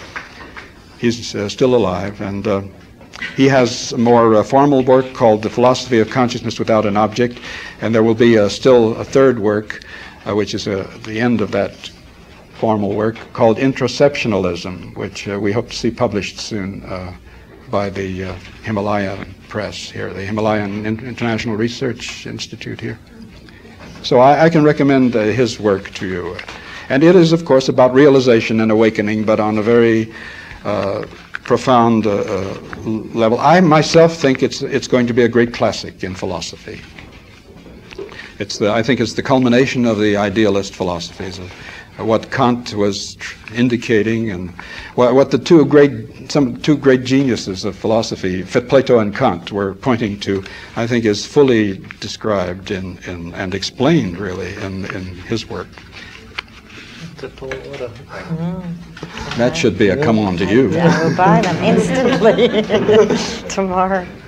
Uh, Dr. Capra again, uh, do you not find similar parallels in Christianity? I do not recall any occurring in your book. Uh, yes, that in fact I'm asked that often, and uh, I'm convinced that they are there, but I don't uh, haven't studied them. For some reason, I found it easier to study the Eastern traditions.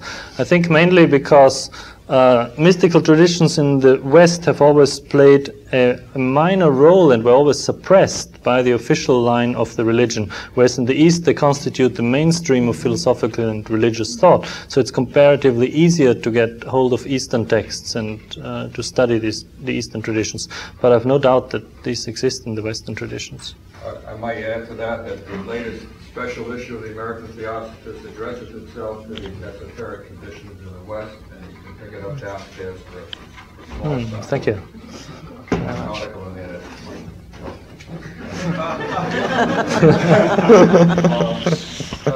again, please comment on how your views on physics relate to the field of holistic health, physical, mental. That'll be tomorrow also with the psychology because they go hand in hand. Uh, uh, Dr. Melvin, tell us more about the proton that travels at infinite rates of speed. The photon, I guess that should be. How is this oh. possible with anything of a physical nature? It's not traveling at infinite speed. You see, the distance it has to cover is zero, and the dist- and the time it takes it to cover it is zero, so that it's still traveling, from our point of view, at the same speed that the, the, photon speed is always, uh, if you want to summarize the special theory of relativity in a Madison Avenue slogan, you say uh, one cannot catch up the least bit with light. That's, that's what the special theory of relativity says, essentially. One cannot catch up the least bit with light. No matter how fast you travel in the same direction a photon is going, it's always traveling with the same, the basic universal speed. So that's always true. Oddly enough, even for a photon. But in the case of the photon itself, all lengths in the direction of travel shrink to zero, and the time it takes to cover them shrinks to zero.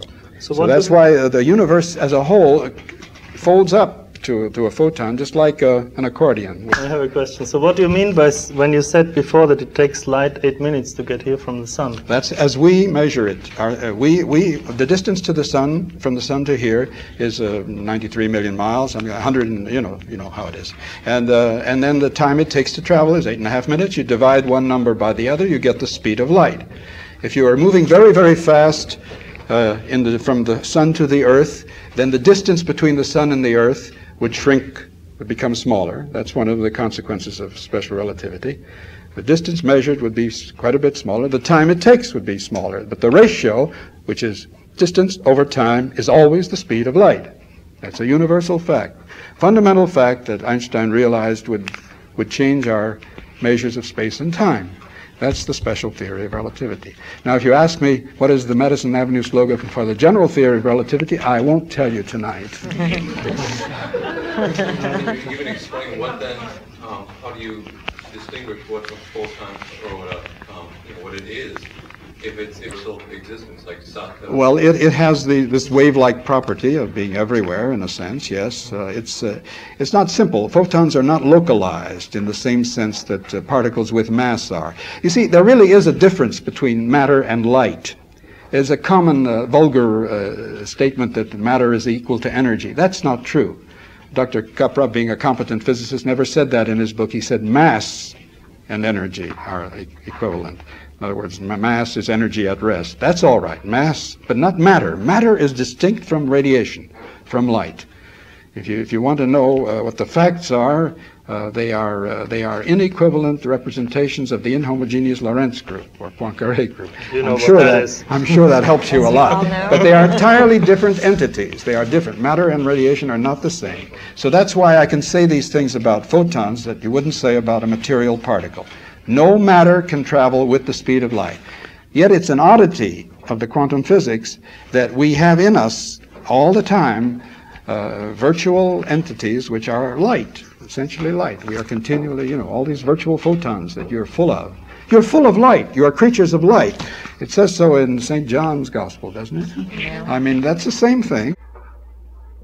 Uh, or Dr. Melvin, I have heard that over the last year or so, a particle has been discovered that differs in behavior from observer to observer, and I know that at least one mystic has called this the particle of the soul. The particle that reacts uh, according to the expectations of the observer. Have you heard of this? Well, no, that's no, I haven't heard of this, but uh, the behavior of all particles depends on the observer. This is not true of any particular particle. For example, whether an electron will show particle properties or whether it will show wave properties depends on how you observe it. And you as the observer can ask it a particle question, then you'll get a particle answer, or you can ask it a wave question, then you'll get a wave answer. And which question you ask is your personal uh, decision. This is how the consciousness of the human observer comes into the game of quantum theory. But there's not, as far as I know, any particular particle that behaves differently from observer to observer.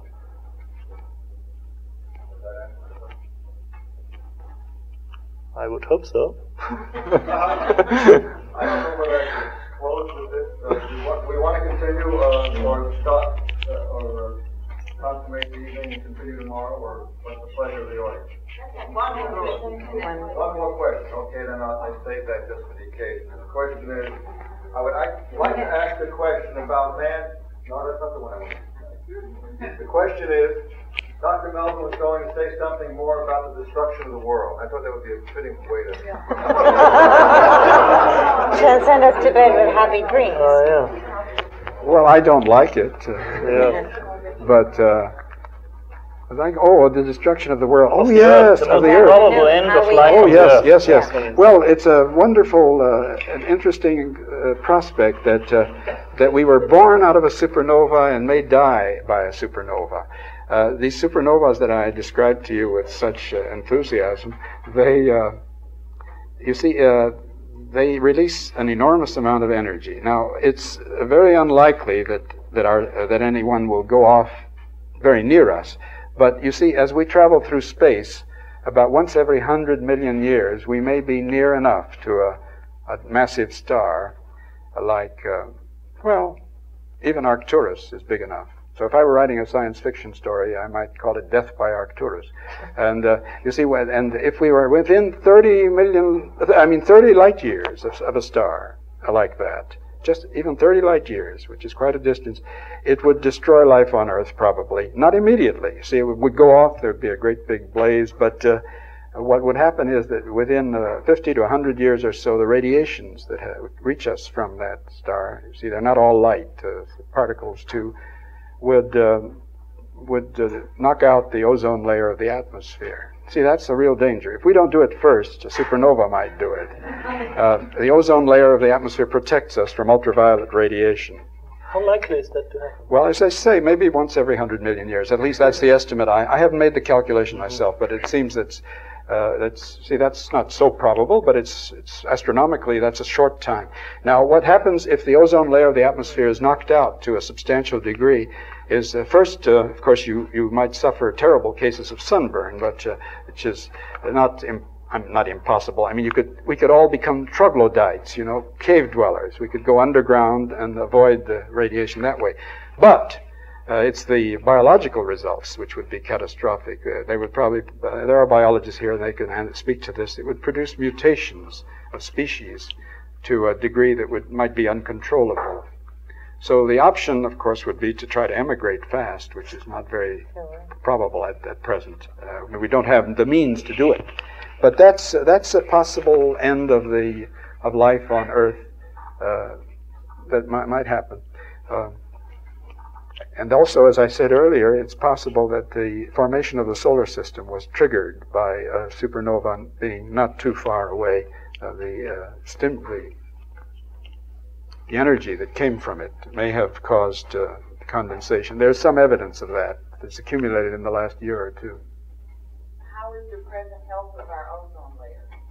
Well, I, am not an expert on that at all, uh, but I understand it's uh, it's not uh, altogether safe. It's uh, I mean, people who work on it uh, are somewhat uh, solemn. They're solemn about it, and uh, it's so it would be so easy to to prevent a catastrophe. You know, just to just make prevent you stop using aerosol cans of the wrong kind. Use some kind of rubber thing to squeeze instead. And it's just, uh, you know, it's like so many other things that are easy. The, the only thing that uh, prevents uh, being done is, uh, as, as uh, one eminent scientist said recently, stupidity or politics, and he apologized for using two synonymous words.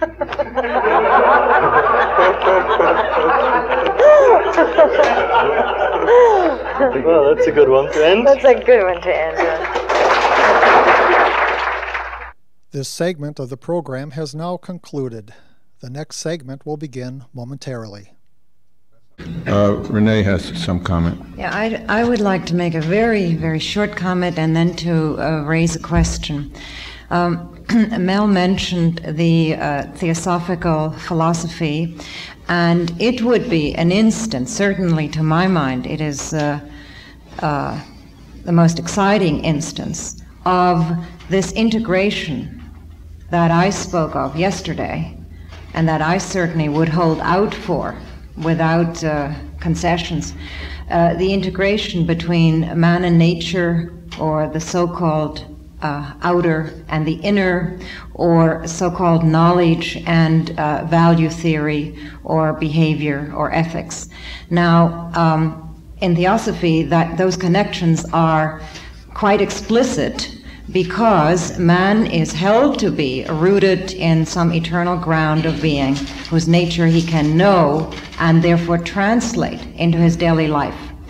My question to bring um, us back to the main uh, topic of this uh, symposium is in what ways does the new physics bring its insights to bear on the life of man. Or to put it differently, some people, even the student generation, whom I know very well teaching them, take the view, all right, this is, exci- this is interesting, it's even clear, but so what? How does it affect man's life?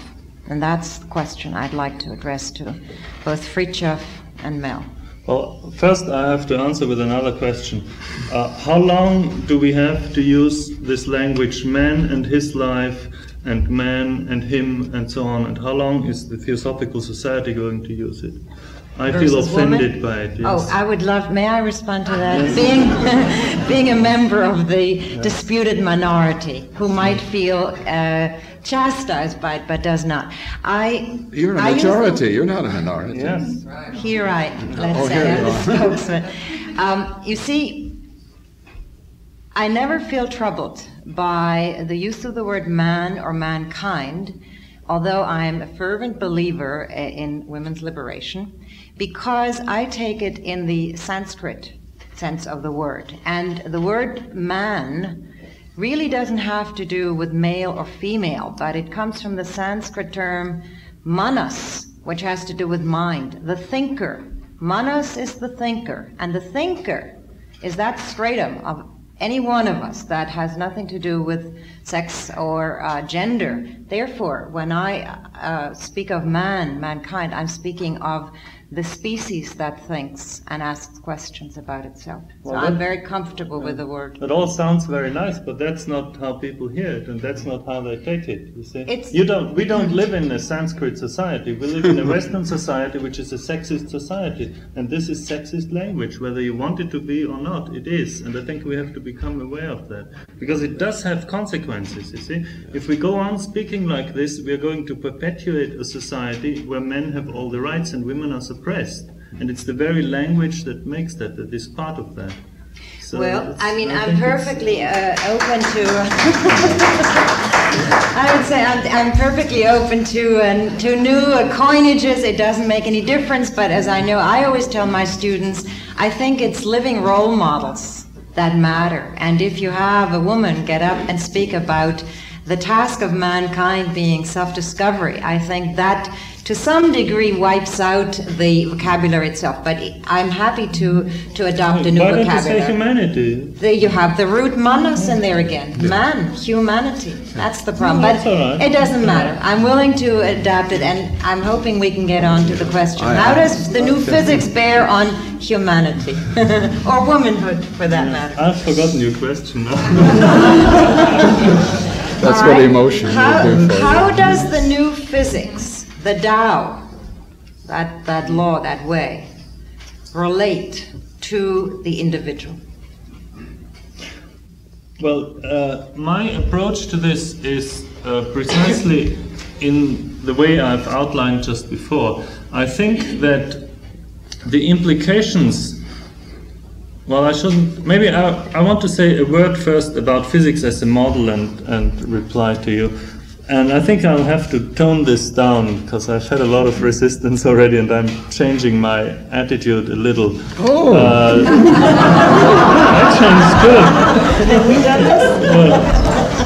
and um, you see, the main thing I think is to recognize how the various sciences have modeled themselves after Newtonian physics and to recognize that being scientific right, right. does not mean you have to be Newtonian. Now, for that, the new physics can certainly be a model. Right, to remove uh, obstacles. Yes.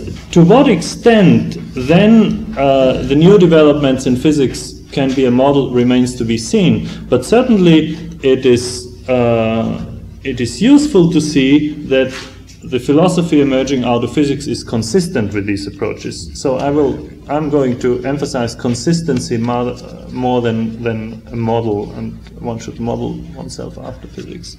And uh, then coming to Renee's question, I think the change we are going to see in the next few years towards a more ecological and holistic uh, attitude will come from two directions. Uh, first, it will come through women, through the participation of women in politics and in various aspects of our society, because traditionally women, uh, because of, of uh, various uh, cultural conditioning, women find it easier uh, most of the time to think in holistic terms and to, to live in, in, in this way and to uh, favor intuition and, and the, the whole the yin mode about which I've talked yesterday. And the second um, change, I think, will come through the field of healing, uh, through the field of therapy, because people are going to and are already uh, being fed up with Western medicine because it's it's more and more expensive and less and less effective. Hmm. And here is where people have real political power. Uh, if you have a headache and don't take an aspirin, that's a political act, I think. Because the only reason why they sell you aspirin is because the aspirin manufacturers want to, want to make a profit. So this is where we have real power, and this is where the change will come. And I've become very much aware of that when you study uh, medicine and the various other fields of healing, then you're always drawn into social aspects of it not only because we live in society and we have to, to have a, a wholesome relationship with our social environment, but also because of the social conditioning of the medical profession and of the political conditioning. So uh, this will change our society tremendously, and I think we are seeing this coming. I'm not sure how this is across the states, but certainly in California there's a big grassroots movement, and I think in other places too uh, which looks uh, for new methods of healing. And uh, also the the nurses are spearheading this uh, development because the nurses are the ones who deal with patients. Doctors deal with disease and nurses deal with patients. So there's a, a great uh, difference. So they usually are much more aware of, of uh, new developments. And I think this, this will you know, bring about all the other aspects that you are talking about.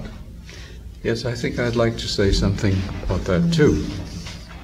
Um, yeah, I agree with uh, everything that uh, Dr. Capra said, and I, I would uh, also agree with enthusiasm that uh, the, uh, about the enormous importance of uh, joining the other half of the human race. in fact, it's a little more than half, as we said women outlive men.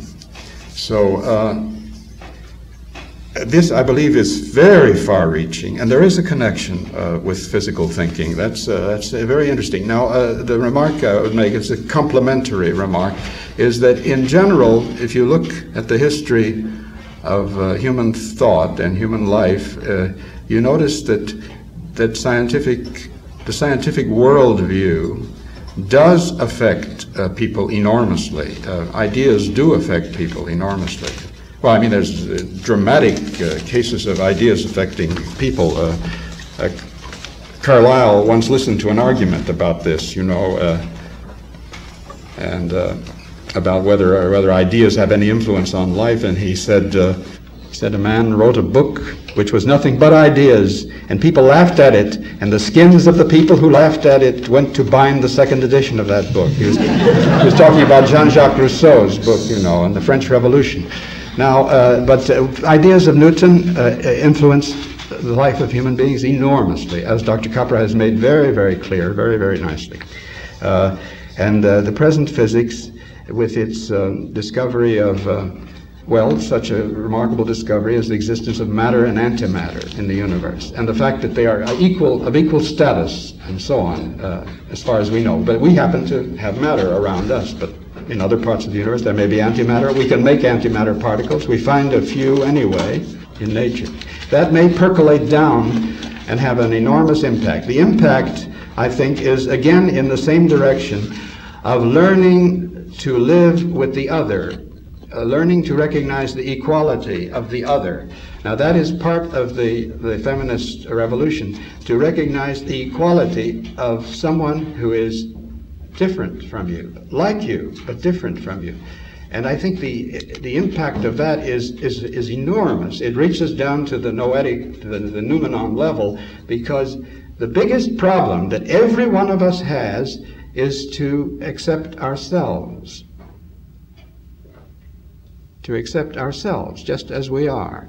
And uh, to really love ourselves. Charity begins at home. Now, to be able to love the other is a step towards that. And uh, it's, it's, the same thing, actually. The equality, it's identical. I mean, it's not just there, but for the grace of God, go I, but there go I, of course. That's what it is ultimately. So I think this entire uh, development is, is always in the direction of making us accept that.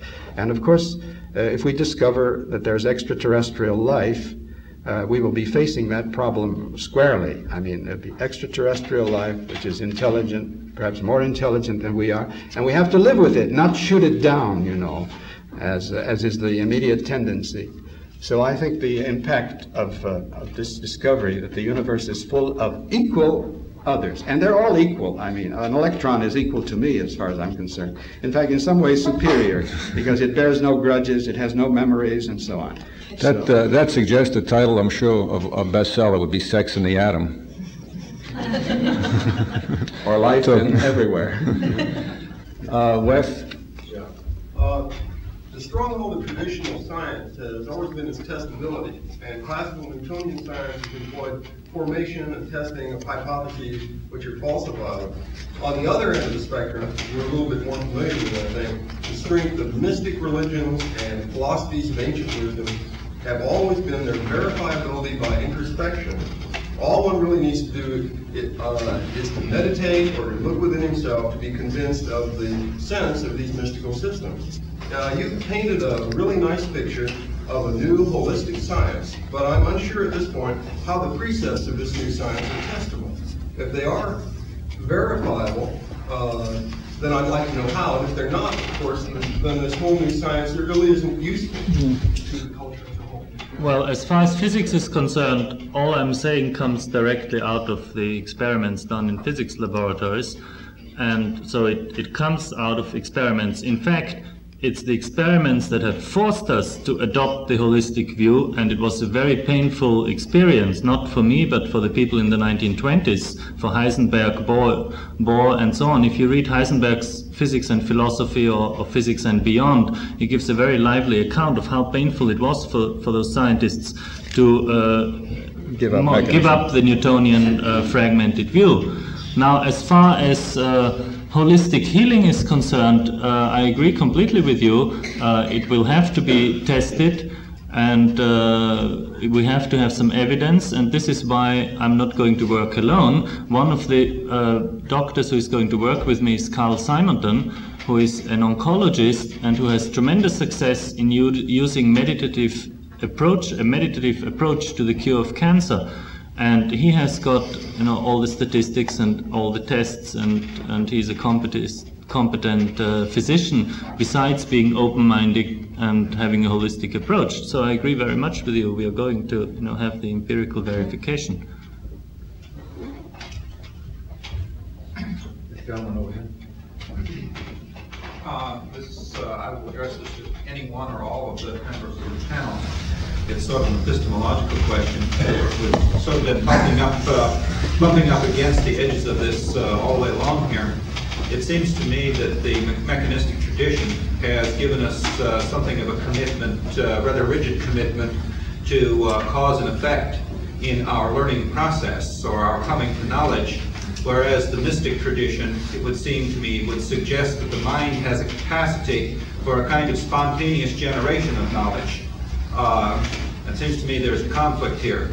I'm wondering if there is anything in the new knowledge or in your own reflections that can help resolve uh, this problem between cause and effect versus uh, what I'm calling spontaneous generation. Uh, synchronicity, uh, what, uh, what acausal, what do you mean by spontaneous Yeah, I will have the same question. Would you say a little more about what you mean by spontaneous generation? Uh, it has another meaning, you know, which is confusing. Uh, okay, you're right. That uh, I see what else that means. I simply mean spontaneous generation in that it would seem uh, that when such awareness comes to our knowledge, it came without cause. Uh, now, of course, one can answer it simply that we don't know the cause, that we're unaware of the cause. One can say that it is a divine cause or something like that. Um, most of these uh, answers seem to fall short when you uh, attempt to discuss them in an academic setting. Uh, can I just say a few words about that? It seems to me that um, Indian philosophy and certainly theosophy do not abolish uh, causation. What they do is to refine it and make it, in fact, far more extensive than you would have in the narrow scientific uh, Cartesian Newtonian model. Uh, the notion, the, the concept of karma, the law of action and reaction, is held to be an all pervasive principle which introduces into this notion of causation the law, the idea of justice, universal justice, such that no um, event can take place, whether it be physical, psychological, uh, moral, or cosmic, without having its inevitable consequences embedded in the universe itself or in the event itself. Therefore, it must bear fruit of some sort. So, in a sense, causation, I think, is not reduced but is widened to embrace man, nature, and so forth. Now, the difference, and I think this is a decisive difference, is that the shift occurs from a neutral, blind, what I would call mechanistic causation, to a far subtler type of causation involving all levels hmm. of energy all types of energies, thought, feeling, and so forth. And therefore, you have in an elegance, in an elegant, let's say, uh, uh, one singular principle, you have both interrelatedness of all sorts of events in the universe and the moral consequences thereof. So, this would be my viewpoint on the matter. Well, believe it or not, modern physics goes very far in this direction. Uh, there are two uh, effects which uh, have influenced our Newtonian picture of rigid cause and effect relationship. Uh, one was uh, quantum theory and the other one relativity theory. In quantum theory, we have come to realize, to recognize probability as a very basic feature of the atomic and subatomic reality. Uh, events are governed by probability and don't occur with certainty. So you can have a particle disintegrating, for instance, uh, you have a neutron, for instance, that comes along and at a certain moment disintegrates into a proton, an electron, and a neutrino. And nothing causes this decay, as we call it, or this disintegration. There's no particular cause for this event. You can never predict when it will disintegrate. You can only predict the probability. Nothing causes it means no single event, no billiard ball that hits the other billiard ball causes it. That's the Newtonian question uh, the Newtonian concept of cause and effect. Now, it doesn't mean that the disintegration of the neutron is completely random and lawless. That's a very common misconception that is made held even by very bright people that uh, quantum theory introduces randomness and lawlessness. That's not true, but uh, the causality principle is wider, as Rene has just said, uh, the whole determines the individual event. The probability is determined by the dynamics of the whole system. And that's where we have the difficulty to accept that individual events are determined by the whole and not by other smaller individual events. Well, that's one effect on, on uh, causation uh, through physics. The other one comes from the concept of time. Uh, in particle physics, as I've said already, we have difficulties with the concept of a linearly flowing time, and uh, we often have to abandon it. What we do in in our field theories, for instance, is we draw diagrams where particles are connected, are interconnected over a four-dimensional region of space and time. And we don't have any definite flow of time uh, associated with these diagrams so that you cannot speak about cause and effect any longer. Because cause and effect in the primitive notion of cause and effect holds only if one event occurs before the other one. Then you can say it causes the second one. But if there's no definite direction of time, you don't have any cause and effect. Now, this is also what mystics have been telling us that in transcending ordinary notions of time, you also transcend notions of cause and effect. You break the bonds of karma and other words they're using to that effect. So, so physics again goes very far in this direction. Uh, I want to ask a question that doesn't really have anything to do with a lot of these things.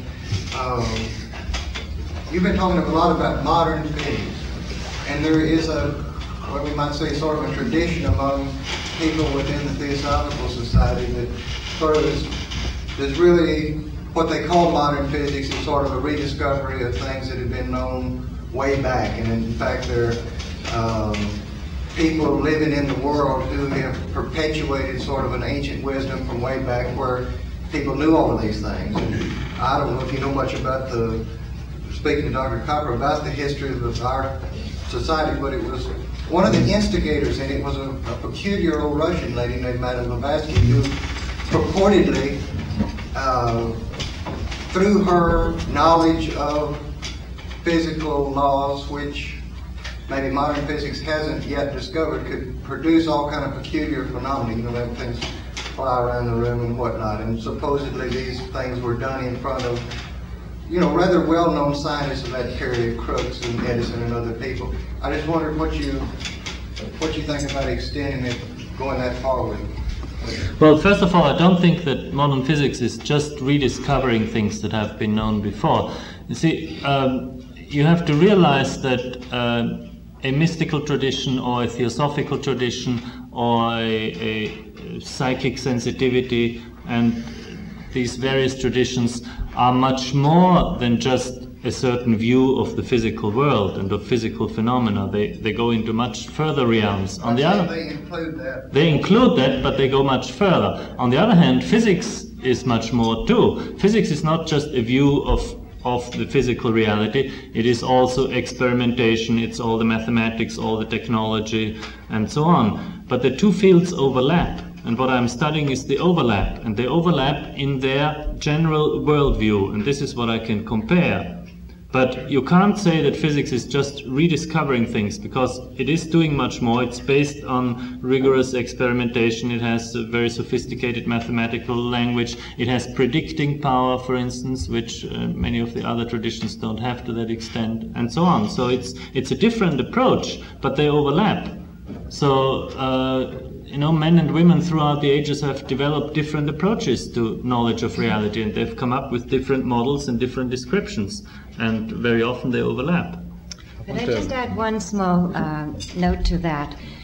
Don't you think it might be said that while physics per se, we understand this technical body now of knowledge in the last whatever five centuries or four has is perhaps novel, the common denominator that some people might claim studying mysticism and let's say the ancient knowledge or wisdom and physics is that one postulates, or in some cases one is certain, that there are underlying principles that have been known through the ages that make such disciplines as contemporary physics possible in the first place. I think that would be the claim. One would not say that uh, 20th century physics is but a restatement of some kind of physics known in whatever century BC, but one would say it is the, tra- it is the translation of those principles that are real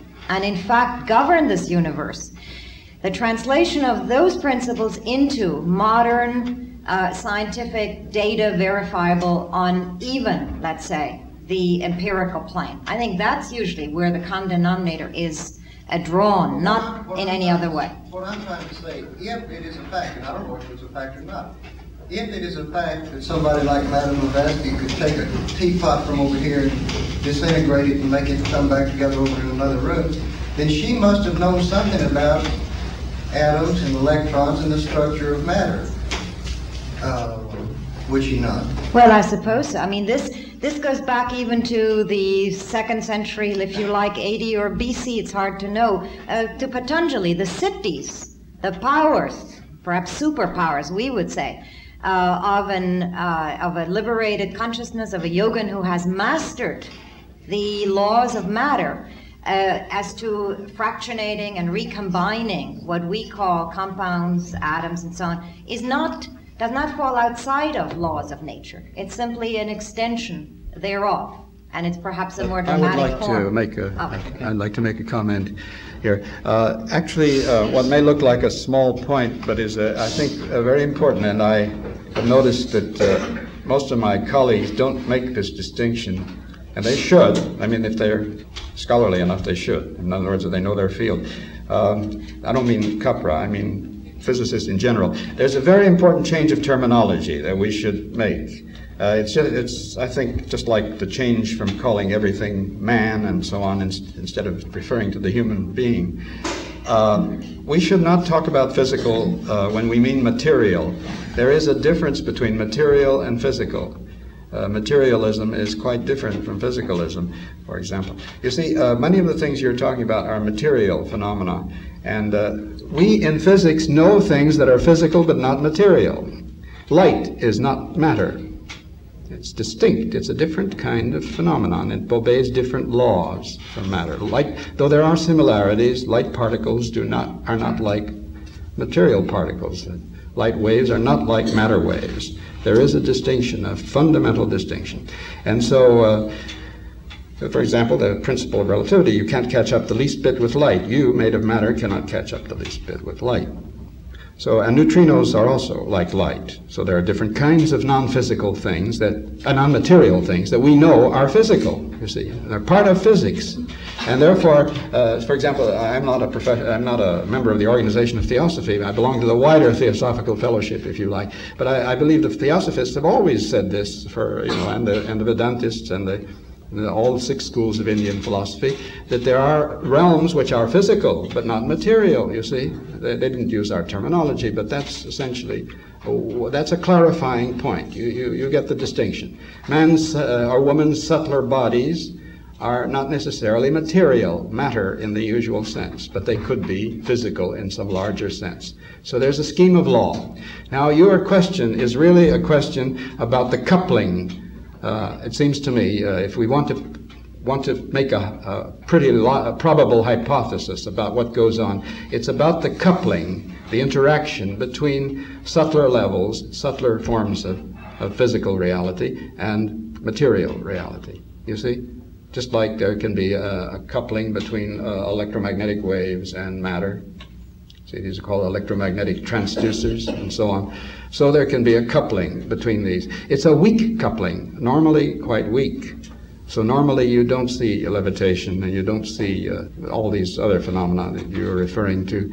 And indeed, uh, when there are claims made for it, there's usually a mountain of dross for a few nuggets of, of, of truth. You know, I mean, you, you must be very careful about believing. You must be also very careful about not believing. So I, I think while these things do occur, I'm quite sure they do. I used to be a referee for Rhine's Journal of Parapsychology, and I visited the laboratory several times, and, and of course they occur. I mean, there's no question about that in the, in the mind of any honest person who has looked into the matter. But uh, they are very rare, and the coupling, therefore, is quite subtle and weak. And, or at least it's, uh, it's not, in, not easily produced in the laboratory. And uh, it's often simulated but not produced.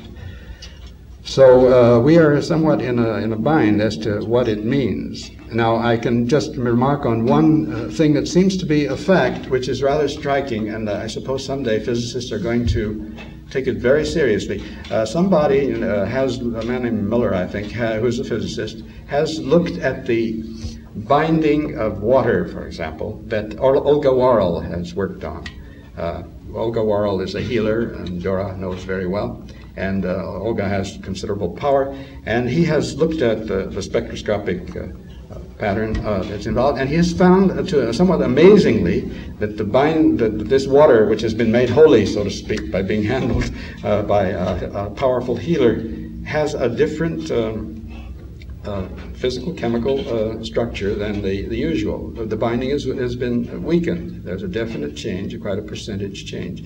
This is a Nobel Prize type experiment. He, I don't think he publishes in the usual journals or whatever. He, he has a job with DuPont or something like that. I don't know the exact status.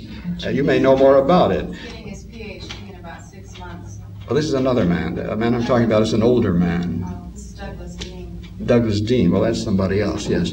But uh, in any case, there is a, clearly an effect on, on the physical structure of matter, which is somewhat documented but uh, imperfectly, and somehow uh, it will have to be incorporated into physical science. Again, I would say the probable hypothesis, though not necessarily, you mustn't take this as true in any sense, but it's probable that there is some kind of coupling between the subtler levels and the usual level. So the usual level of matter is, a, is, is in a, embedded in a matrix of subtler vestures, uh, as Shankara called them, or whatever you want to call them. And there is some interaction, but it's not uh, the usual kind, and it seems to be very much influenced by consciousness, by intention, by uh, non-ulterior motivation, very strange things to the old science, you know.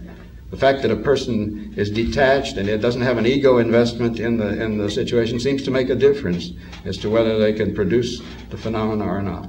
It's a kind of a paradox involved. John, I'd like to hear Dr. Capra's comments to that question that was raised. Well, uh, really very similar. I would have said essentially the same thing in, in different words. Uh, I get this question quite often, as you might imagine. And what I usually say is that uh, we, when we deal with the world in trying to understand the various phenomena, we cut it up in certain ways. And Descartes, among others, has influenced us to a very great extent so that we separate the, the mental or the spiritual from the material. And in so-called paranormal phenomena, it seems that you can't make this separation, that you have to divide the world in divide re reality in different ways in order to be able to account for these phenomena. So uh, what we need is is an approach that uh, combines uh, psychological aspects and uh, physical aspects. I don't believe that uh, Madame Blavatsky disintegrates the teacup over there and makes it reappear over there.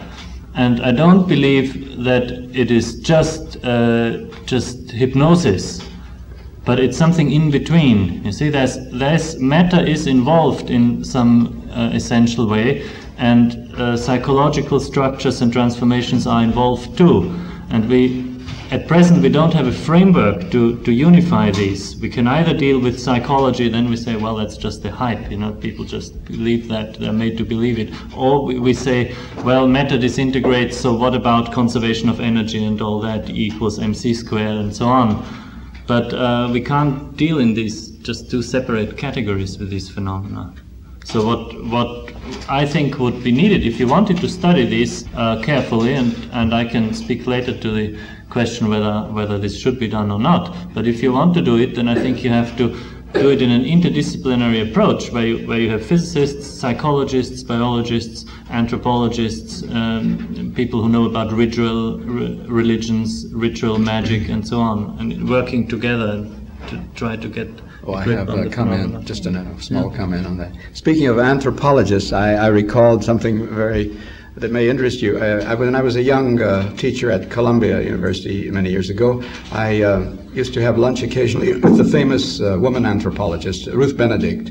And uh, she told me that um, these paranormal phenomena occur. In fact, her grandmother used to be able to walk down the stairs in Switzerland with a table hanging from her fingers. And she found these paranormal phenomena, a small table. I don't know why she would do it that way, but you know, you never know about grandmothers. Uh, now, uh, but Ruth Benedict said that these phenomena occur in cultures which believe in them very commonly. They do not occur in cultures which don't believe in them, you see.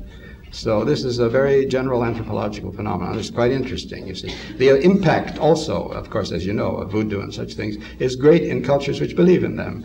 And uh, people who do not believe in them are often insulated, armored, and so on. Not invariably, but there is an, a very important individual psychological factor and collective psychological factor energy fields and so on, whatever you want to say. But uh, I, I, agree quite uh, completely with what uh, Dr. Capra says that it does require a broader and interdisciplinary uh, view.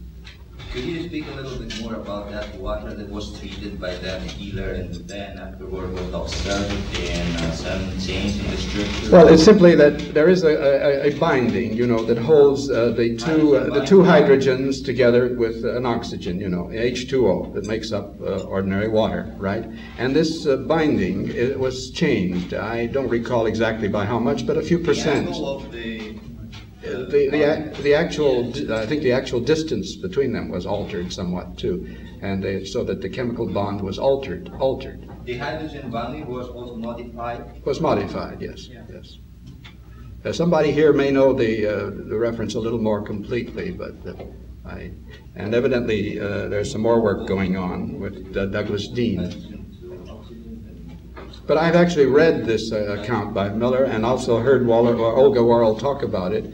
And uh, there doesn't seem to be any question. She, you look at the spectrograph, uh, spectrographic uh, picture, and you see that it's, it's, it's happened. So some things go on like that.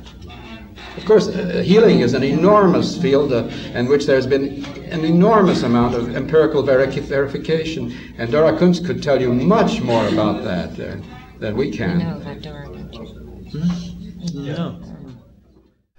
This talk will continue on the next CD. I think uh, it's uh, the nature of a holistic approach to life or reality that wherever you start, uh, you'll end up anywhere else because that's the very nature of everything hanging together. So it doesn't really matter where you start. Uh, and uh, you know, I started in physics and then branched out into uh, psychology and medicine and psychotherapy, biology.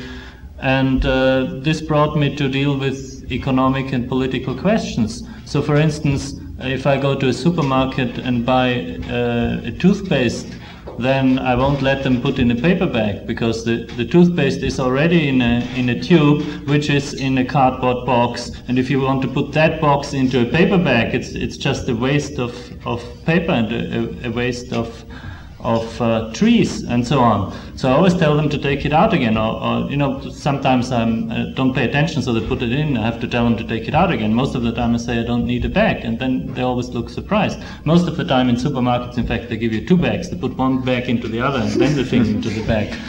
And, and all these, I think, are, are actions in, in this direction. The whole question of ecology, you know, is, is goes very much in this direction. And that leads to a certain frame of mind. And if you have this certain frame of mind of considering uh, the whole structure and the context in which uh, one lives, then this, this will lead to uh, prevention of crime and, and various other factors. I can only see this way. Uh, perhaps one other way to look at this. Um, in Eastern philosophy in general, but certainly in theosophy specifically, there is a powerful uh, tool by means of which one could address a kind of question that Joanne has raised, and that's the whole idea of intent or will, or to use theosophical terminology, thought forms. Uh, the energies that we generate, and I was hoping that the new physics would somehow pave the way, make a bridge between kind of energy now known and described and prana, this particularly uh, human and um, psychological kind of energy.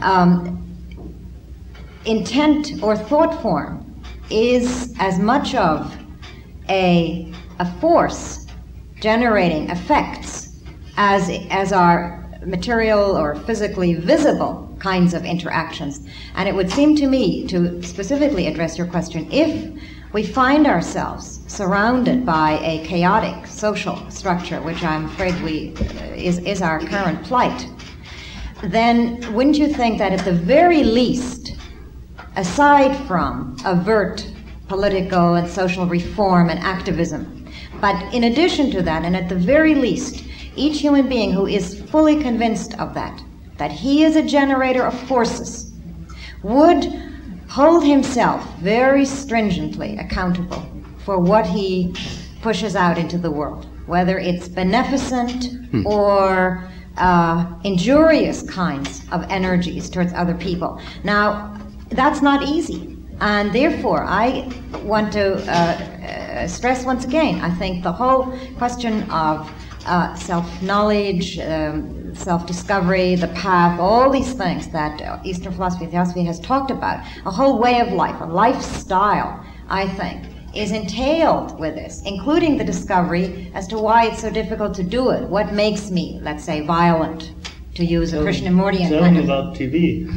all right, TV, but even without TV, you see, that's my, this is now my focus. I think TV might catalyze what I already have within. But even without TV, way back in the time of the ancients, Buddha, Plato, Patanjali, Shankara, uh, the, there was always the observation that man, woman, untransformed, the human species, untransformed, somehow can utilize its energies for ill, for uh, hate, for injury, as well as for brotherliness and good and so on. I think TV can uh, give me a sympathetic kind of resonance and, No, and heighten TV what I have. TV is not something out there. TV is us because they base their programs on ratings. And if you don't watch the, the violent shows, they won't show them. Granted, and that this is, So- I mean, perfectly true, but I would say even if we were to do away with all the violent shows, something within man, isn't this what Buddha said, for example? Something within man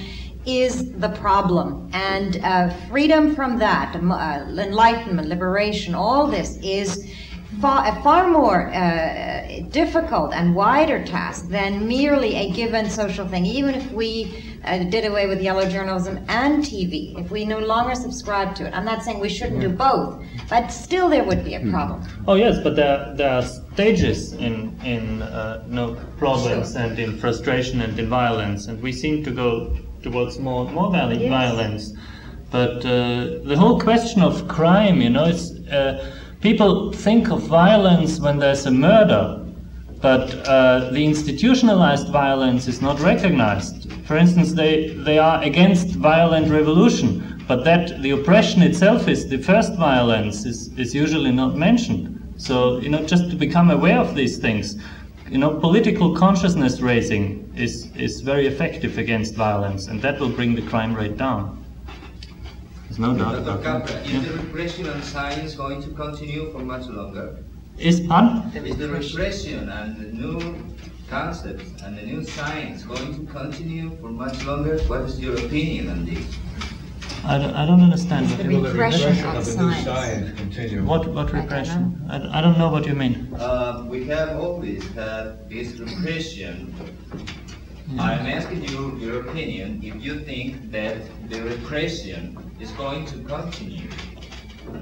The political repression, you mean? Political repression on uh, politics, on science, on uh, all the new aspects. Well, I think it depends on us. I think I think I think it's not because uh, we're not going to take it, and but it depends on us. I think we can do something, and and the ways I've outlined, you know, this morning, I think will be very effective. Uh, would you say, would you call time uh, fourth dimension with all the consequences that can be uh, brought up in this? Would you call time a fourth dimension Uh, yeah. with all the consequences, uh, reaching as far as the concept of eternity and uh, Oh yes, that's dimension of the that's that's one aspect of it. The you know um, extension of, of our notion of time. Coming way back here. I'm still stuck on the previous discussion about uh, energy and particles. I think I got about three questions and a hypothesis all rolled together here, but we'll try it anyway. If, uh, as the physicists discover, as they search further and further, that there are smaller and smaller particles and more energy, uh, what is the probability that there are no particles and only energy? And that the real world as we perceive it, which is made up of matter, this matter, is only the context in with which we hold and perceive our world. And that if I were able to change the context within which I hold that, I would then be able to change what I perceive matter to be. And that I could then push my hand through the wall or do any of these other paranormal uh, considerations. Well, first of all, it seems well. Very first remark I, I have that there are smaller and smaller particles, but not more and more energy. There's energy cannot be gained or lost. It's always the same amount of energy in a particular situation. Uh, and uh, we have become more and more sophisticated in, in our investigation of particles, but there are particles, there are patterns. There's one dynamic process that has certain patterns, and these patterns we call the particles. They are not independent entities, not building blocks that make up matter, but they are patterns in an overall process. And it seems that there are these patterns as long, at least, as we stay within the scientific framework. I don't believe that there are any basic particles. I believe that uh, we will be able to explain these patterns from very general principles, from the general dynamics of, of an integrated whole. But as long as we stay in the scientific framework, uh, the patterns will be there, and so it'll be useful to talk about particles.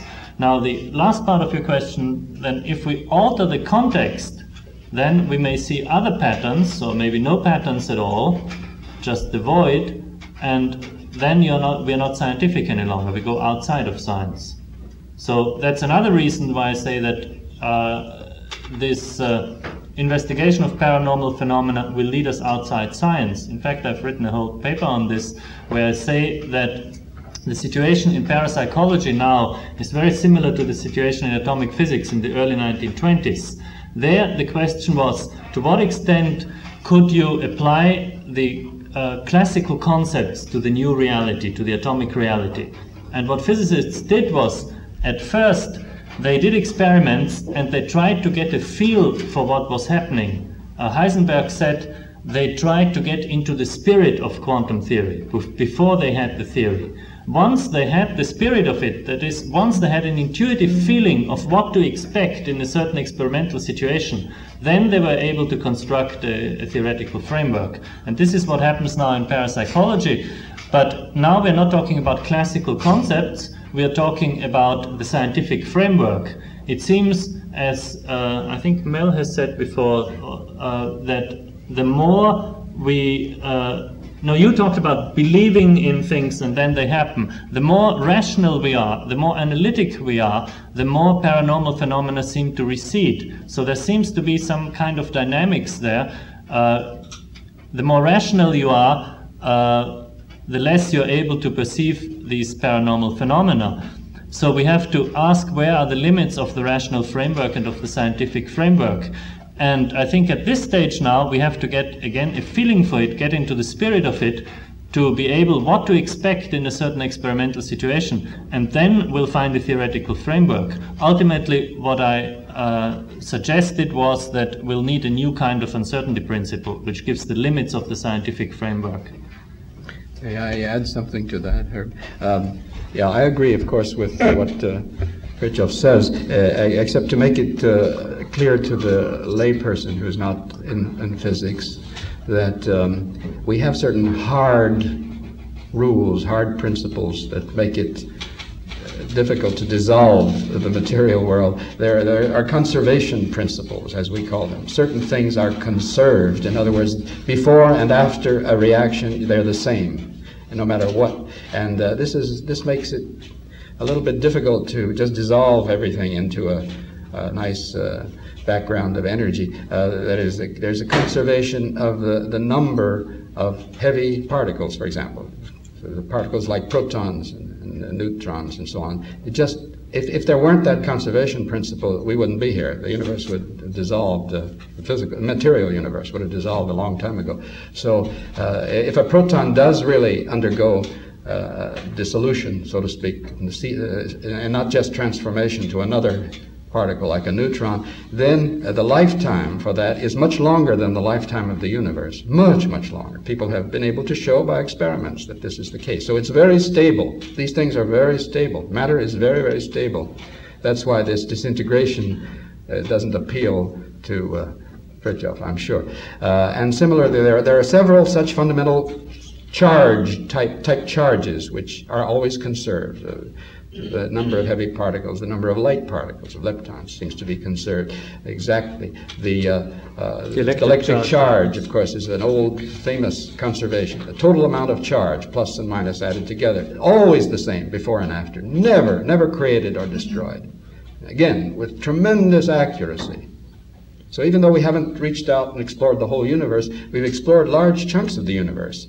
In the lifetime of uh, one human being, the, uh, the Milky Way and the solar system moved through a vast region of space, and there's been no change in, in these constants in, uh, uh within the experimental era. So all these things are very, very hard, crystalline facts in this uh, beautiful web that um, Fritjof wants to weave. So I think we have to remember that, and it's not easy. That's what I meant earlier by saying matter is not the same as, as energy.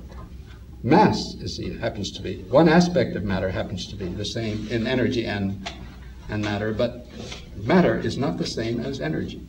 Mass is, happens to be, one aspect of matter happens to be the same in energy and, and matter, but matter is not the same as energy. I'd like to go back to something you said earlier about uh, Newtonian physics paralleling psychoanalysis, and I wonder if you could elaborate on that. The question was, uh, she asked me to elaborate on the parallels between Newtonian physics and Freudian psychoanalysis. Uh, Newtonian physics was based on the contrast between uh, empty space and matter. Matter were hard and solid material particles moving in empty space and colliding in empty space, drawn by forces. And uh, there's a, a, principle in Newtonian physics that every force um, has, every active force has a reactive, generates a reactive force. Action equals reaction. Now, Freud established psychological space uh, very much modeled after the Euclidean space in Newtonian physics, and he saw uh, the, the psyche as consisting of some basic psychological structures, which he visualized very much like objects. These were the ego, the id, and the superego. And these structures, uh, psychological objects, were moving in psychological space and were also colliding and competing in psychological space. Uh, the forces uh, are, for instance, the drives, and uh, what is the reaction to the drives? The I forgot that resistance, Rep- repression, repression, Rep- repression, and and the drive. So so again, the forces were were modeled after Newtonian forces, and you can go on and, and study the, the, the subtler elements. There's a paper on this by a psychiatrist from Montreal. His name is Douglas Levine Dr. Douglas Levine, but I don't think he has published it. He's going to publish it soon, I think. And, and the paper is called uh, Physics and uh, Psychiatry.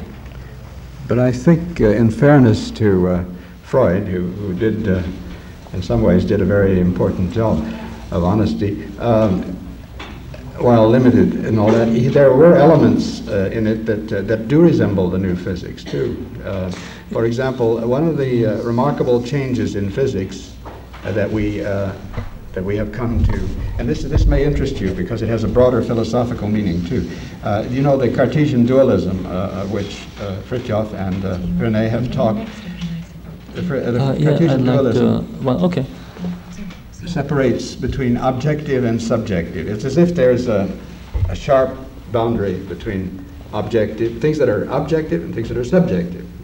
I mean, light is objective, but the color I see with my nervous system and so on is, is, is subjective and so on.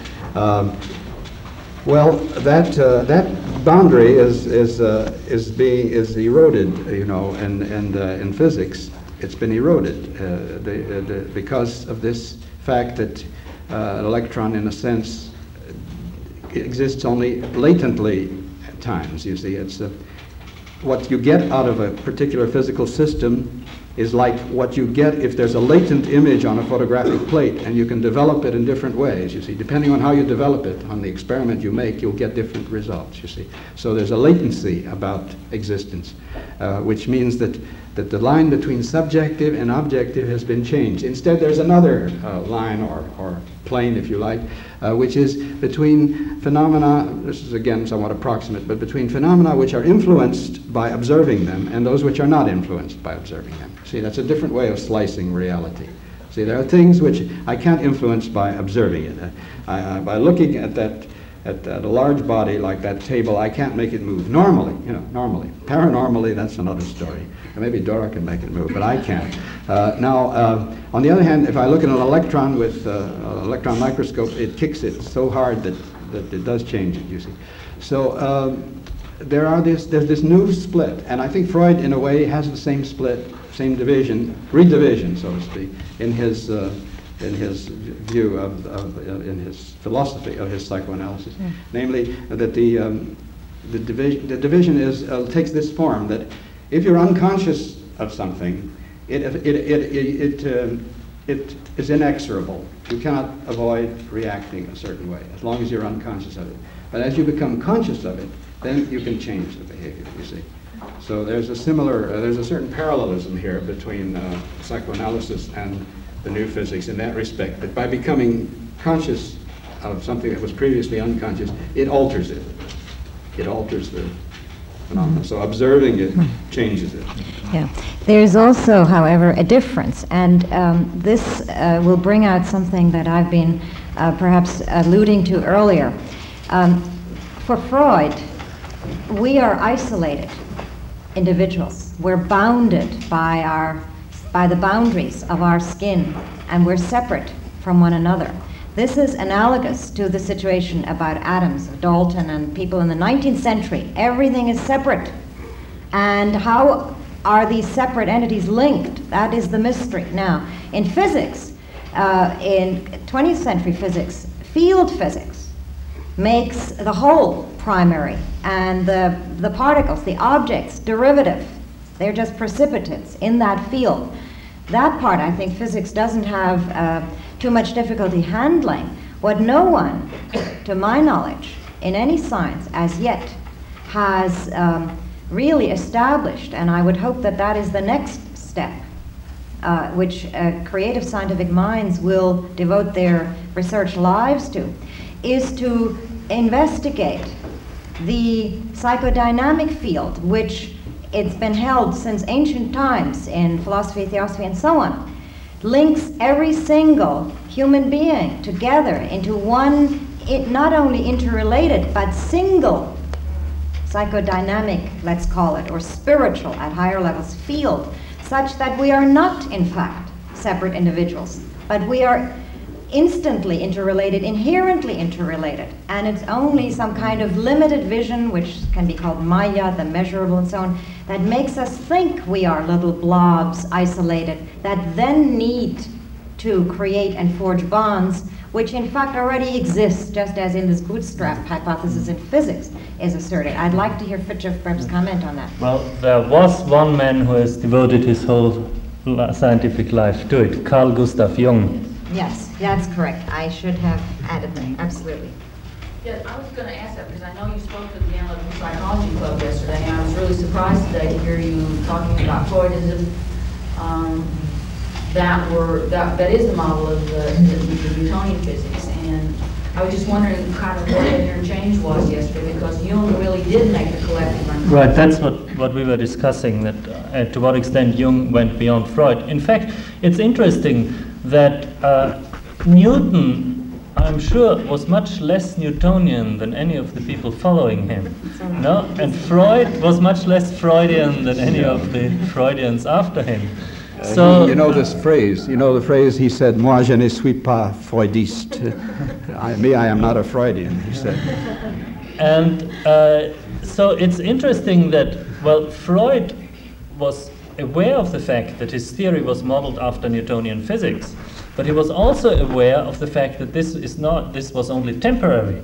And there is a quotation, and I can't give you the reference, but it's in that paper that I mentioned, that Freud said that he was waiting for new physics to come and to give a new conceptual structure, and uh, which uh, an analysts could then use to further elaborate their theories.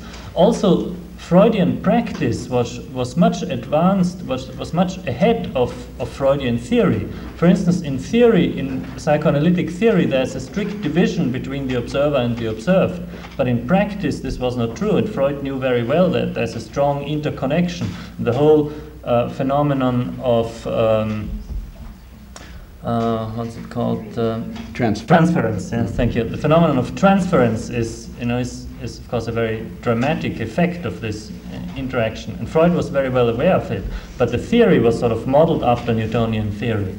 It's funny he would make that statement about waiting for the new physics when he resisted Jung's uh, whole concept of the collective unconscious. Well, fathers have trouble with sons always. Uh, no, but he, well, maybe he didn't know where the new physics, in which direction it would go, you know? Maybe he expected something else from the new physics.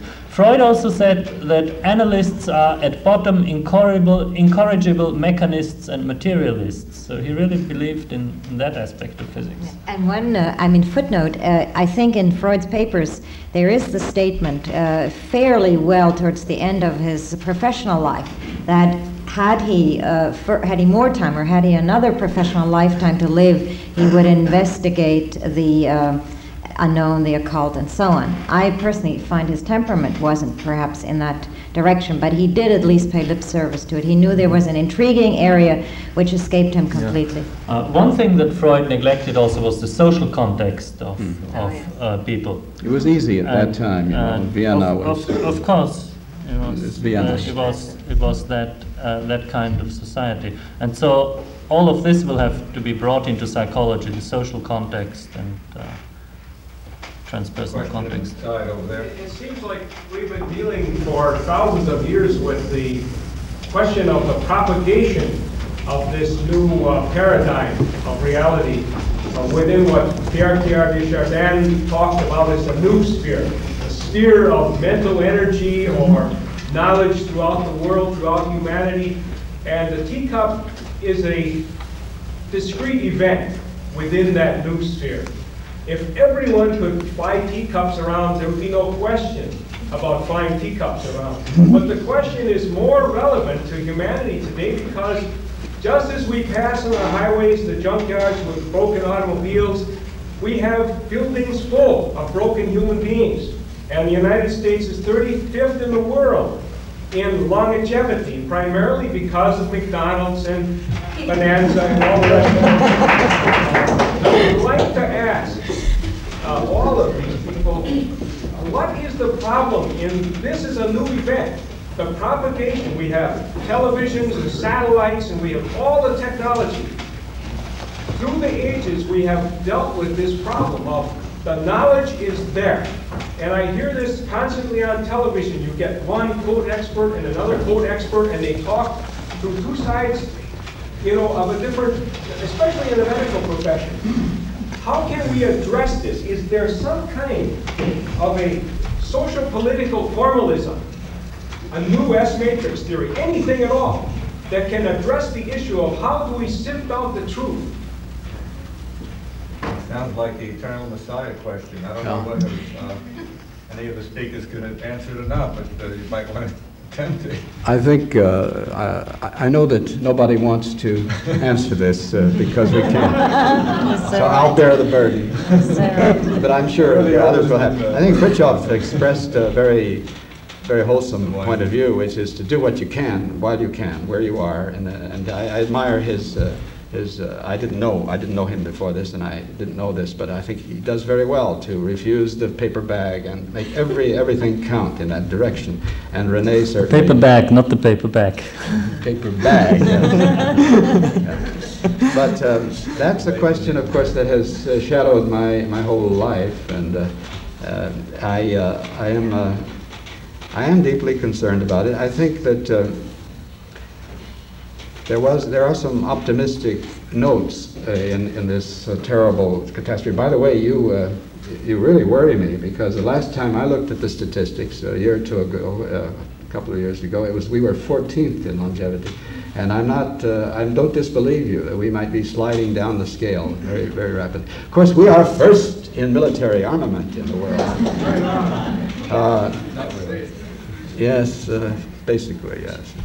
So, um, well, uh, there are some optimistic notes. For example, occasionally, even uh, among the politicians, you, you get this, uh, this report of the McGovern Committee, wasn't it, which advocates that uh, people uh, eat uh, fresh vegetables and fruits and so on, up to maybe 80% of their diet that they eat. things and so on. I, I really think there are measures people can take everywhere, and they may, may come to take them by force almost. For example, uh, sprouting your own sprouts is a very economical way to get uh, a good, wholesome food. And uh, of course, uh, cultivating the natural food stores. uh, Shall I give my Jerry Brown campaign talk now? No. And I think there are there are signs like that, and uh, it's it's a very complicated problem, and I think we all have to be somewhat mature about it. Uh, we, my wife and I, and are somewhat we're we're not fanatics, but we're extremists ourselves in the matter of of food. Uh, we know people who are even crazier than we are, um, and uh, maybe one shouldn't be. I mean, maybe a little Taoism where you mix in a little impurity with purity is called for, but especially if you want to live with other people. But I think there are these uh, these uh, wholesome signs that, especially uh, the younger generation and many of the older generation, influenced by their children, are uh, are uh, working to avoid uh, this kind of pollution. I, I think the pollution, the psychological pollution, is also very great, and the people make very little effort to avoid that. All of us. And uh, what Renee said, and she said it very beautifully, I thought, is very important that we, we ourselves radiate a lot of negative feelings and so on. And uh, this always sounds a little strange to someone who's uh, lived a scientific life, but it's true, I'm sure, that you can radiate negativity and you can radiate positivity. You can make an enormous difference in your attitude. So if we believe in catastrophe, we're going to have catastrophe. Uh, and if we believe in the possibility of uh, that the human race can save itself by its own bootstraps, why then we, it will. Uh, it will and it can. There's no doubt about that.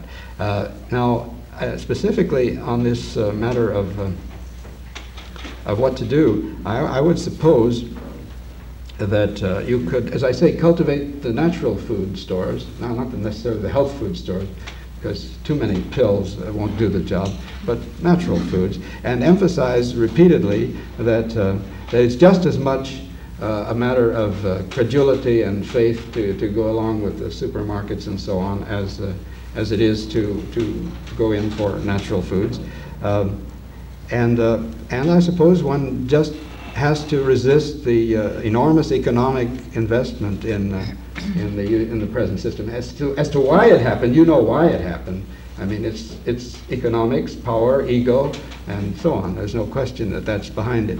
Uh, as to how to prevent it, uh, I can, each of us has to work in his own way to, uh, to slow it down or to reverse it. And uh, it is remarkable that we have a president like uh, Jimmy Carter who at least gives lip service to conservation and to uh, disarmament and so on. And we have a, a counterpart uh, in, in the Soviet Union, uh, Brezhnev, who, for whatever reasons, I don't know, has advocated total disarmament. So these are rather hopeful signs that there are, there's a certain amount of sense in human life. There was one, ju- just one point I wanted to make about this, and that is that one does have to be mature in, in the expectations. Uh, that, for example, uh, Mr. Carter's uh, unilateral action in uh, you know, stopping certain kinds of nuclear development did not have the effect that he expected. So you have to be very, you have to be very intelligent, sort of realistic and mature as to how you go about it. You see, he didn't consult the Germans; he should have. Uh, the, the Germans, by the way, are, are have been behaving extremely well, extreme, in an extremely civilized manner. They are uh, not selling arms to other countries, unlike uh, the French, the English, and the Americans more than anybody else. We sell, what, 54% arms to the world now, something like that.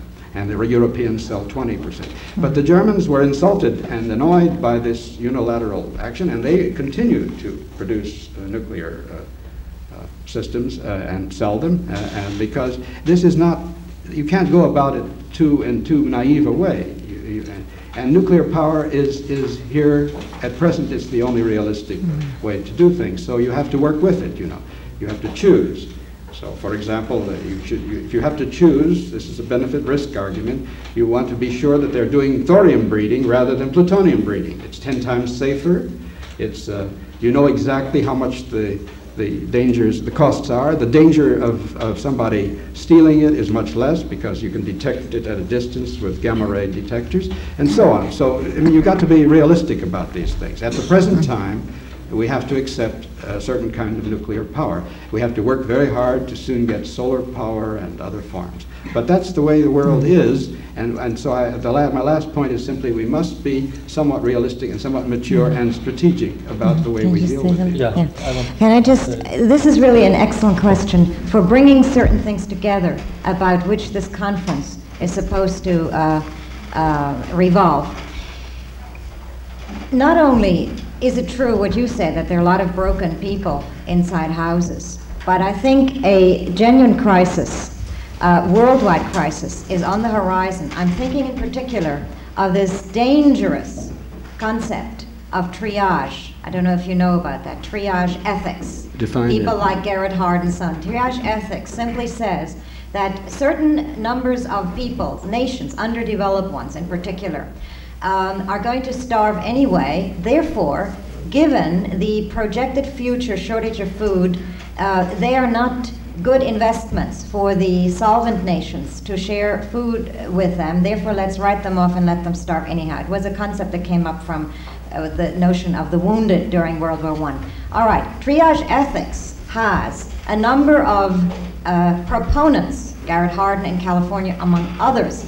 Now, here would be one example of a specific, direct application in daily life and in political life as to whether or not, uh, as to, let's say, how we look at the world. What we believe is real. You, Mel speaks of the term, let us be realistic. That term comes from the word reality. It matters how you define reality, what you will do about starving people. If you define reality as the new physics defines it, an interrelated whole no part of which is outside that whole, no part of which is real, apart from that whole. And if in addition you take the stand that humankind is one, and individuals are only expressions of that oneness, of that one life, and that whatever happens to any part of that happens to all of it, then you cannot consistently take the solution of the triage ethics, the lifeboat ethics people. Because even if it were moral, and it isn't, it is immoral, it isn't possible because it isn't realistic. If I say I am one with mankind, then I cannot possibly say the successful, the uh, uh industrial nations can eat while consciously letting others starve because it isn't just the question that it isn't right, but it isn't possible. If we don't take that view, if we say, yes, we can live and they can die, then we do not believe the new physics, or for that matter, the ancient metaphysics. I, I want to support this very strongly and maybe get a little more specific. Uh, when you're talking, I wasn't familiar with this concept of triage, but it's it's quite obvious to me that they say that some nations are going to starve anyway, but this is only half of the story. The other half is provided that we keep our profits at a constant or increasing level. And this is never mentioned. But this is what they always suppose.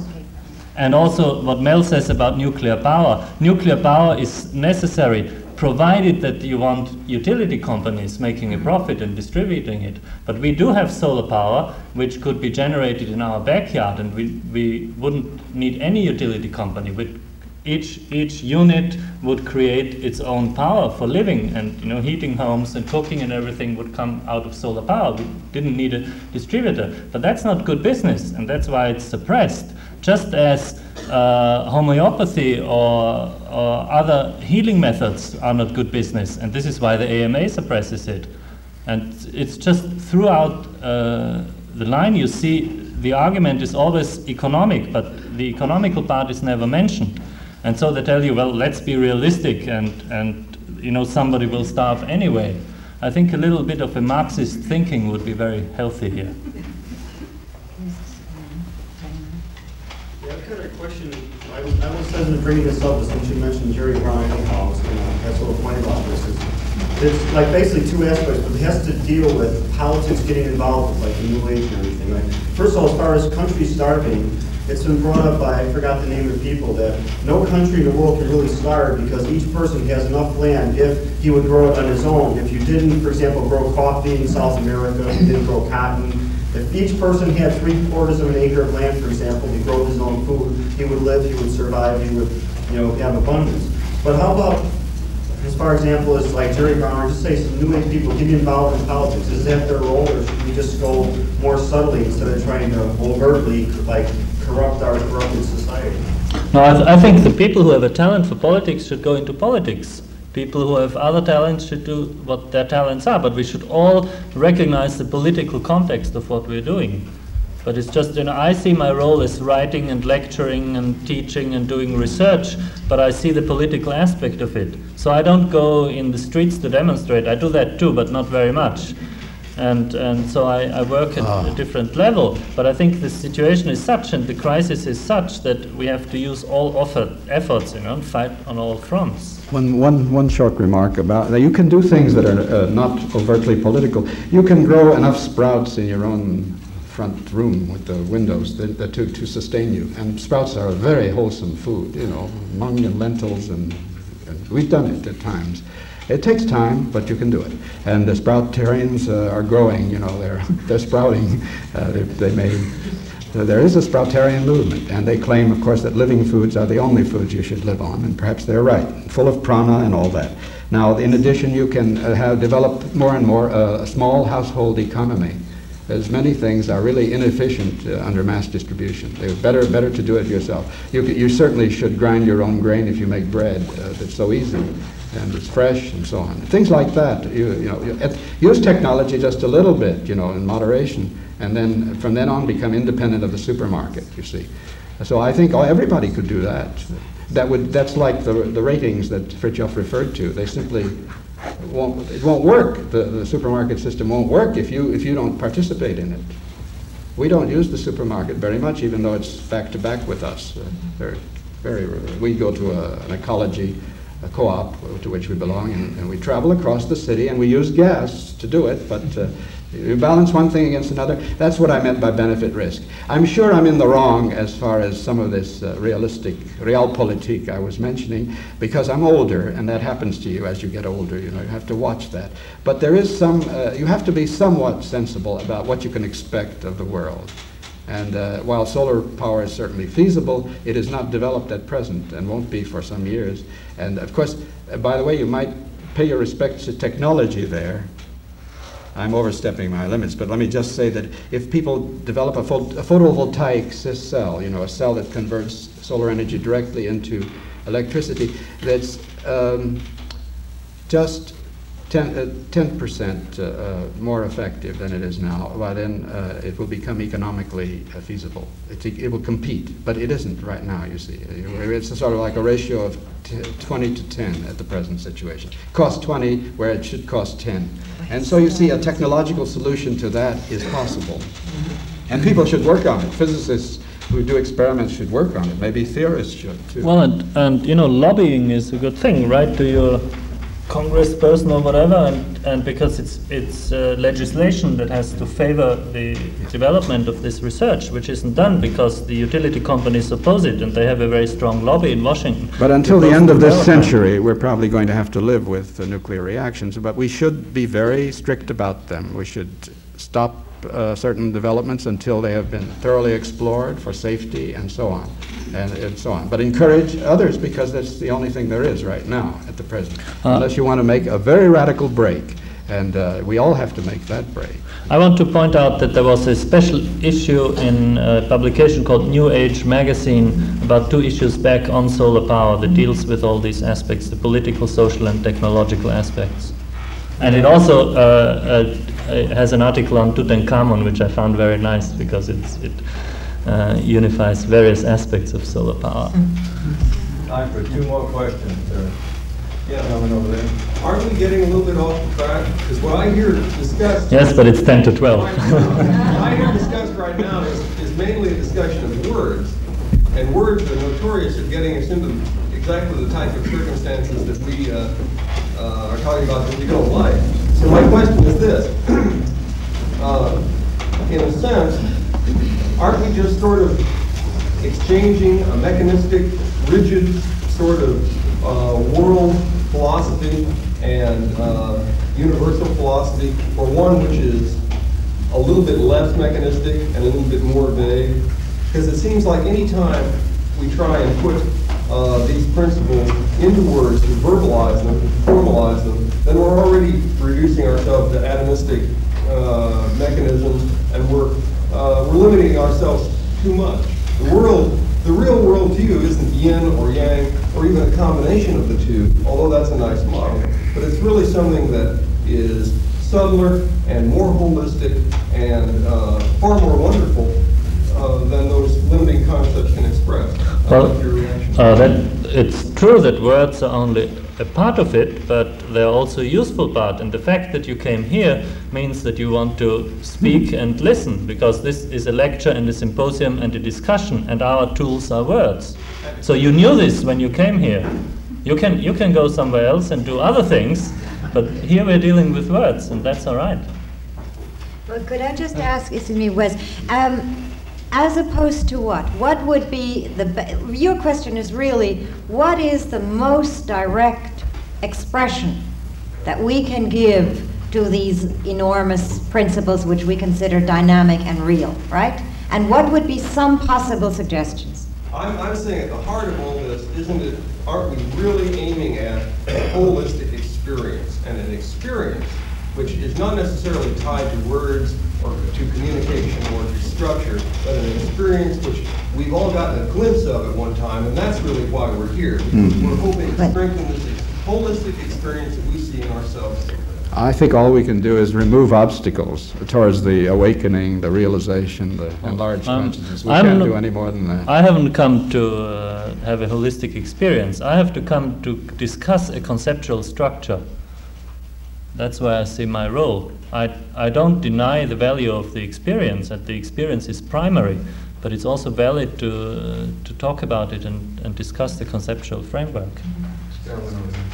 I'd like to ask you a question. Uh, For last 200 years, at least in the West, our values, one of the values has been rationality. And people have been looking up to scientists to provide answers. Lately, and this has been uh, thorough survey conducted and the values are changing. I think people are beginning to feel that science is not providing all the answers. It has, it's, they're selfish, they have their own interests, and this holistic method is, is not even heard of. I think it seems to be very new, I think very wholesome approach. I think the scientists may face the possibility of being left on the side as the humanity goes forward, and they may look to some, something else for answers. Uh, do you have any comments about how the scientific world views this? Are they aware of the changes? Uh, I think they are aware of it uh, very much. In, in my field, in, in theoretical physics, there's a great concern about the fact that physicists are no longer able to communicate with the rest of society. And there are lots of articles and special issues of journals on, on this fact. And this was, by the way, uh, the main reason why my book was accepted in physics circles, because although they didn't buy the mysticism, they, they still recognized that I could communicate the physics. So there is great concern about this. And uh, I think the first part of your comment uh, was something that I should have mentioned somewhere along the line this weekend. That uh, one of the developments of of this, one of the uh, consequences, let's say, of this, the new philosophy of physics, will be to put physics itself in its proper place, and to um, fight against the scientism that has uh, dominated our culture.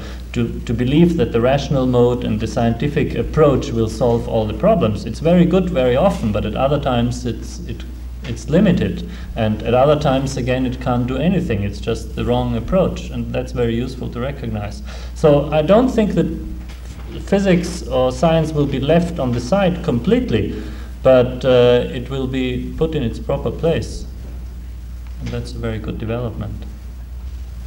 One minute to go, we'll take one more question. Who's the lucky person? Would you comment on Kirlian photography?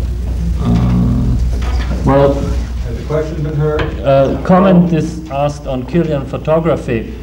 It's a technique to uh, make visible electromagnetic phenomena that accompany uh, living organisms and uh, give rise to effects around the body or around the leaf and so on.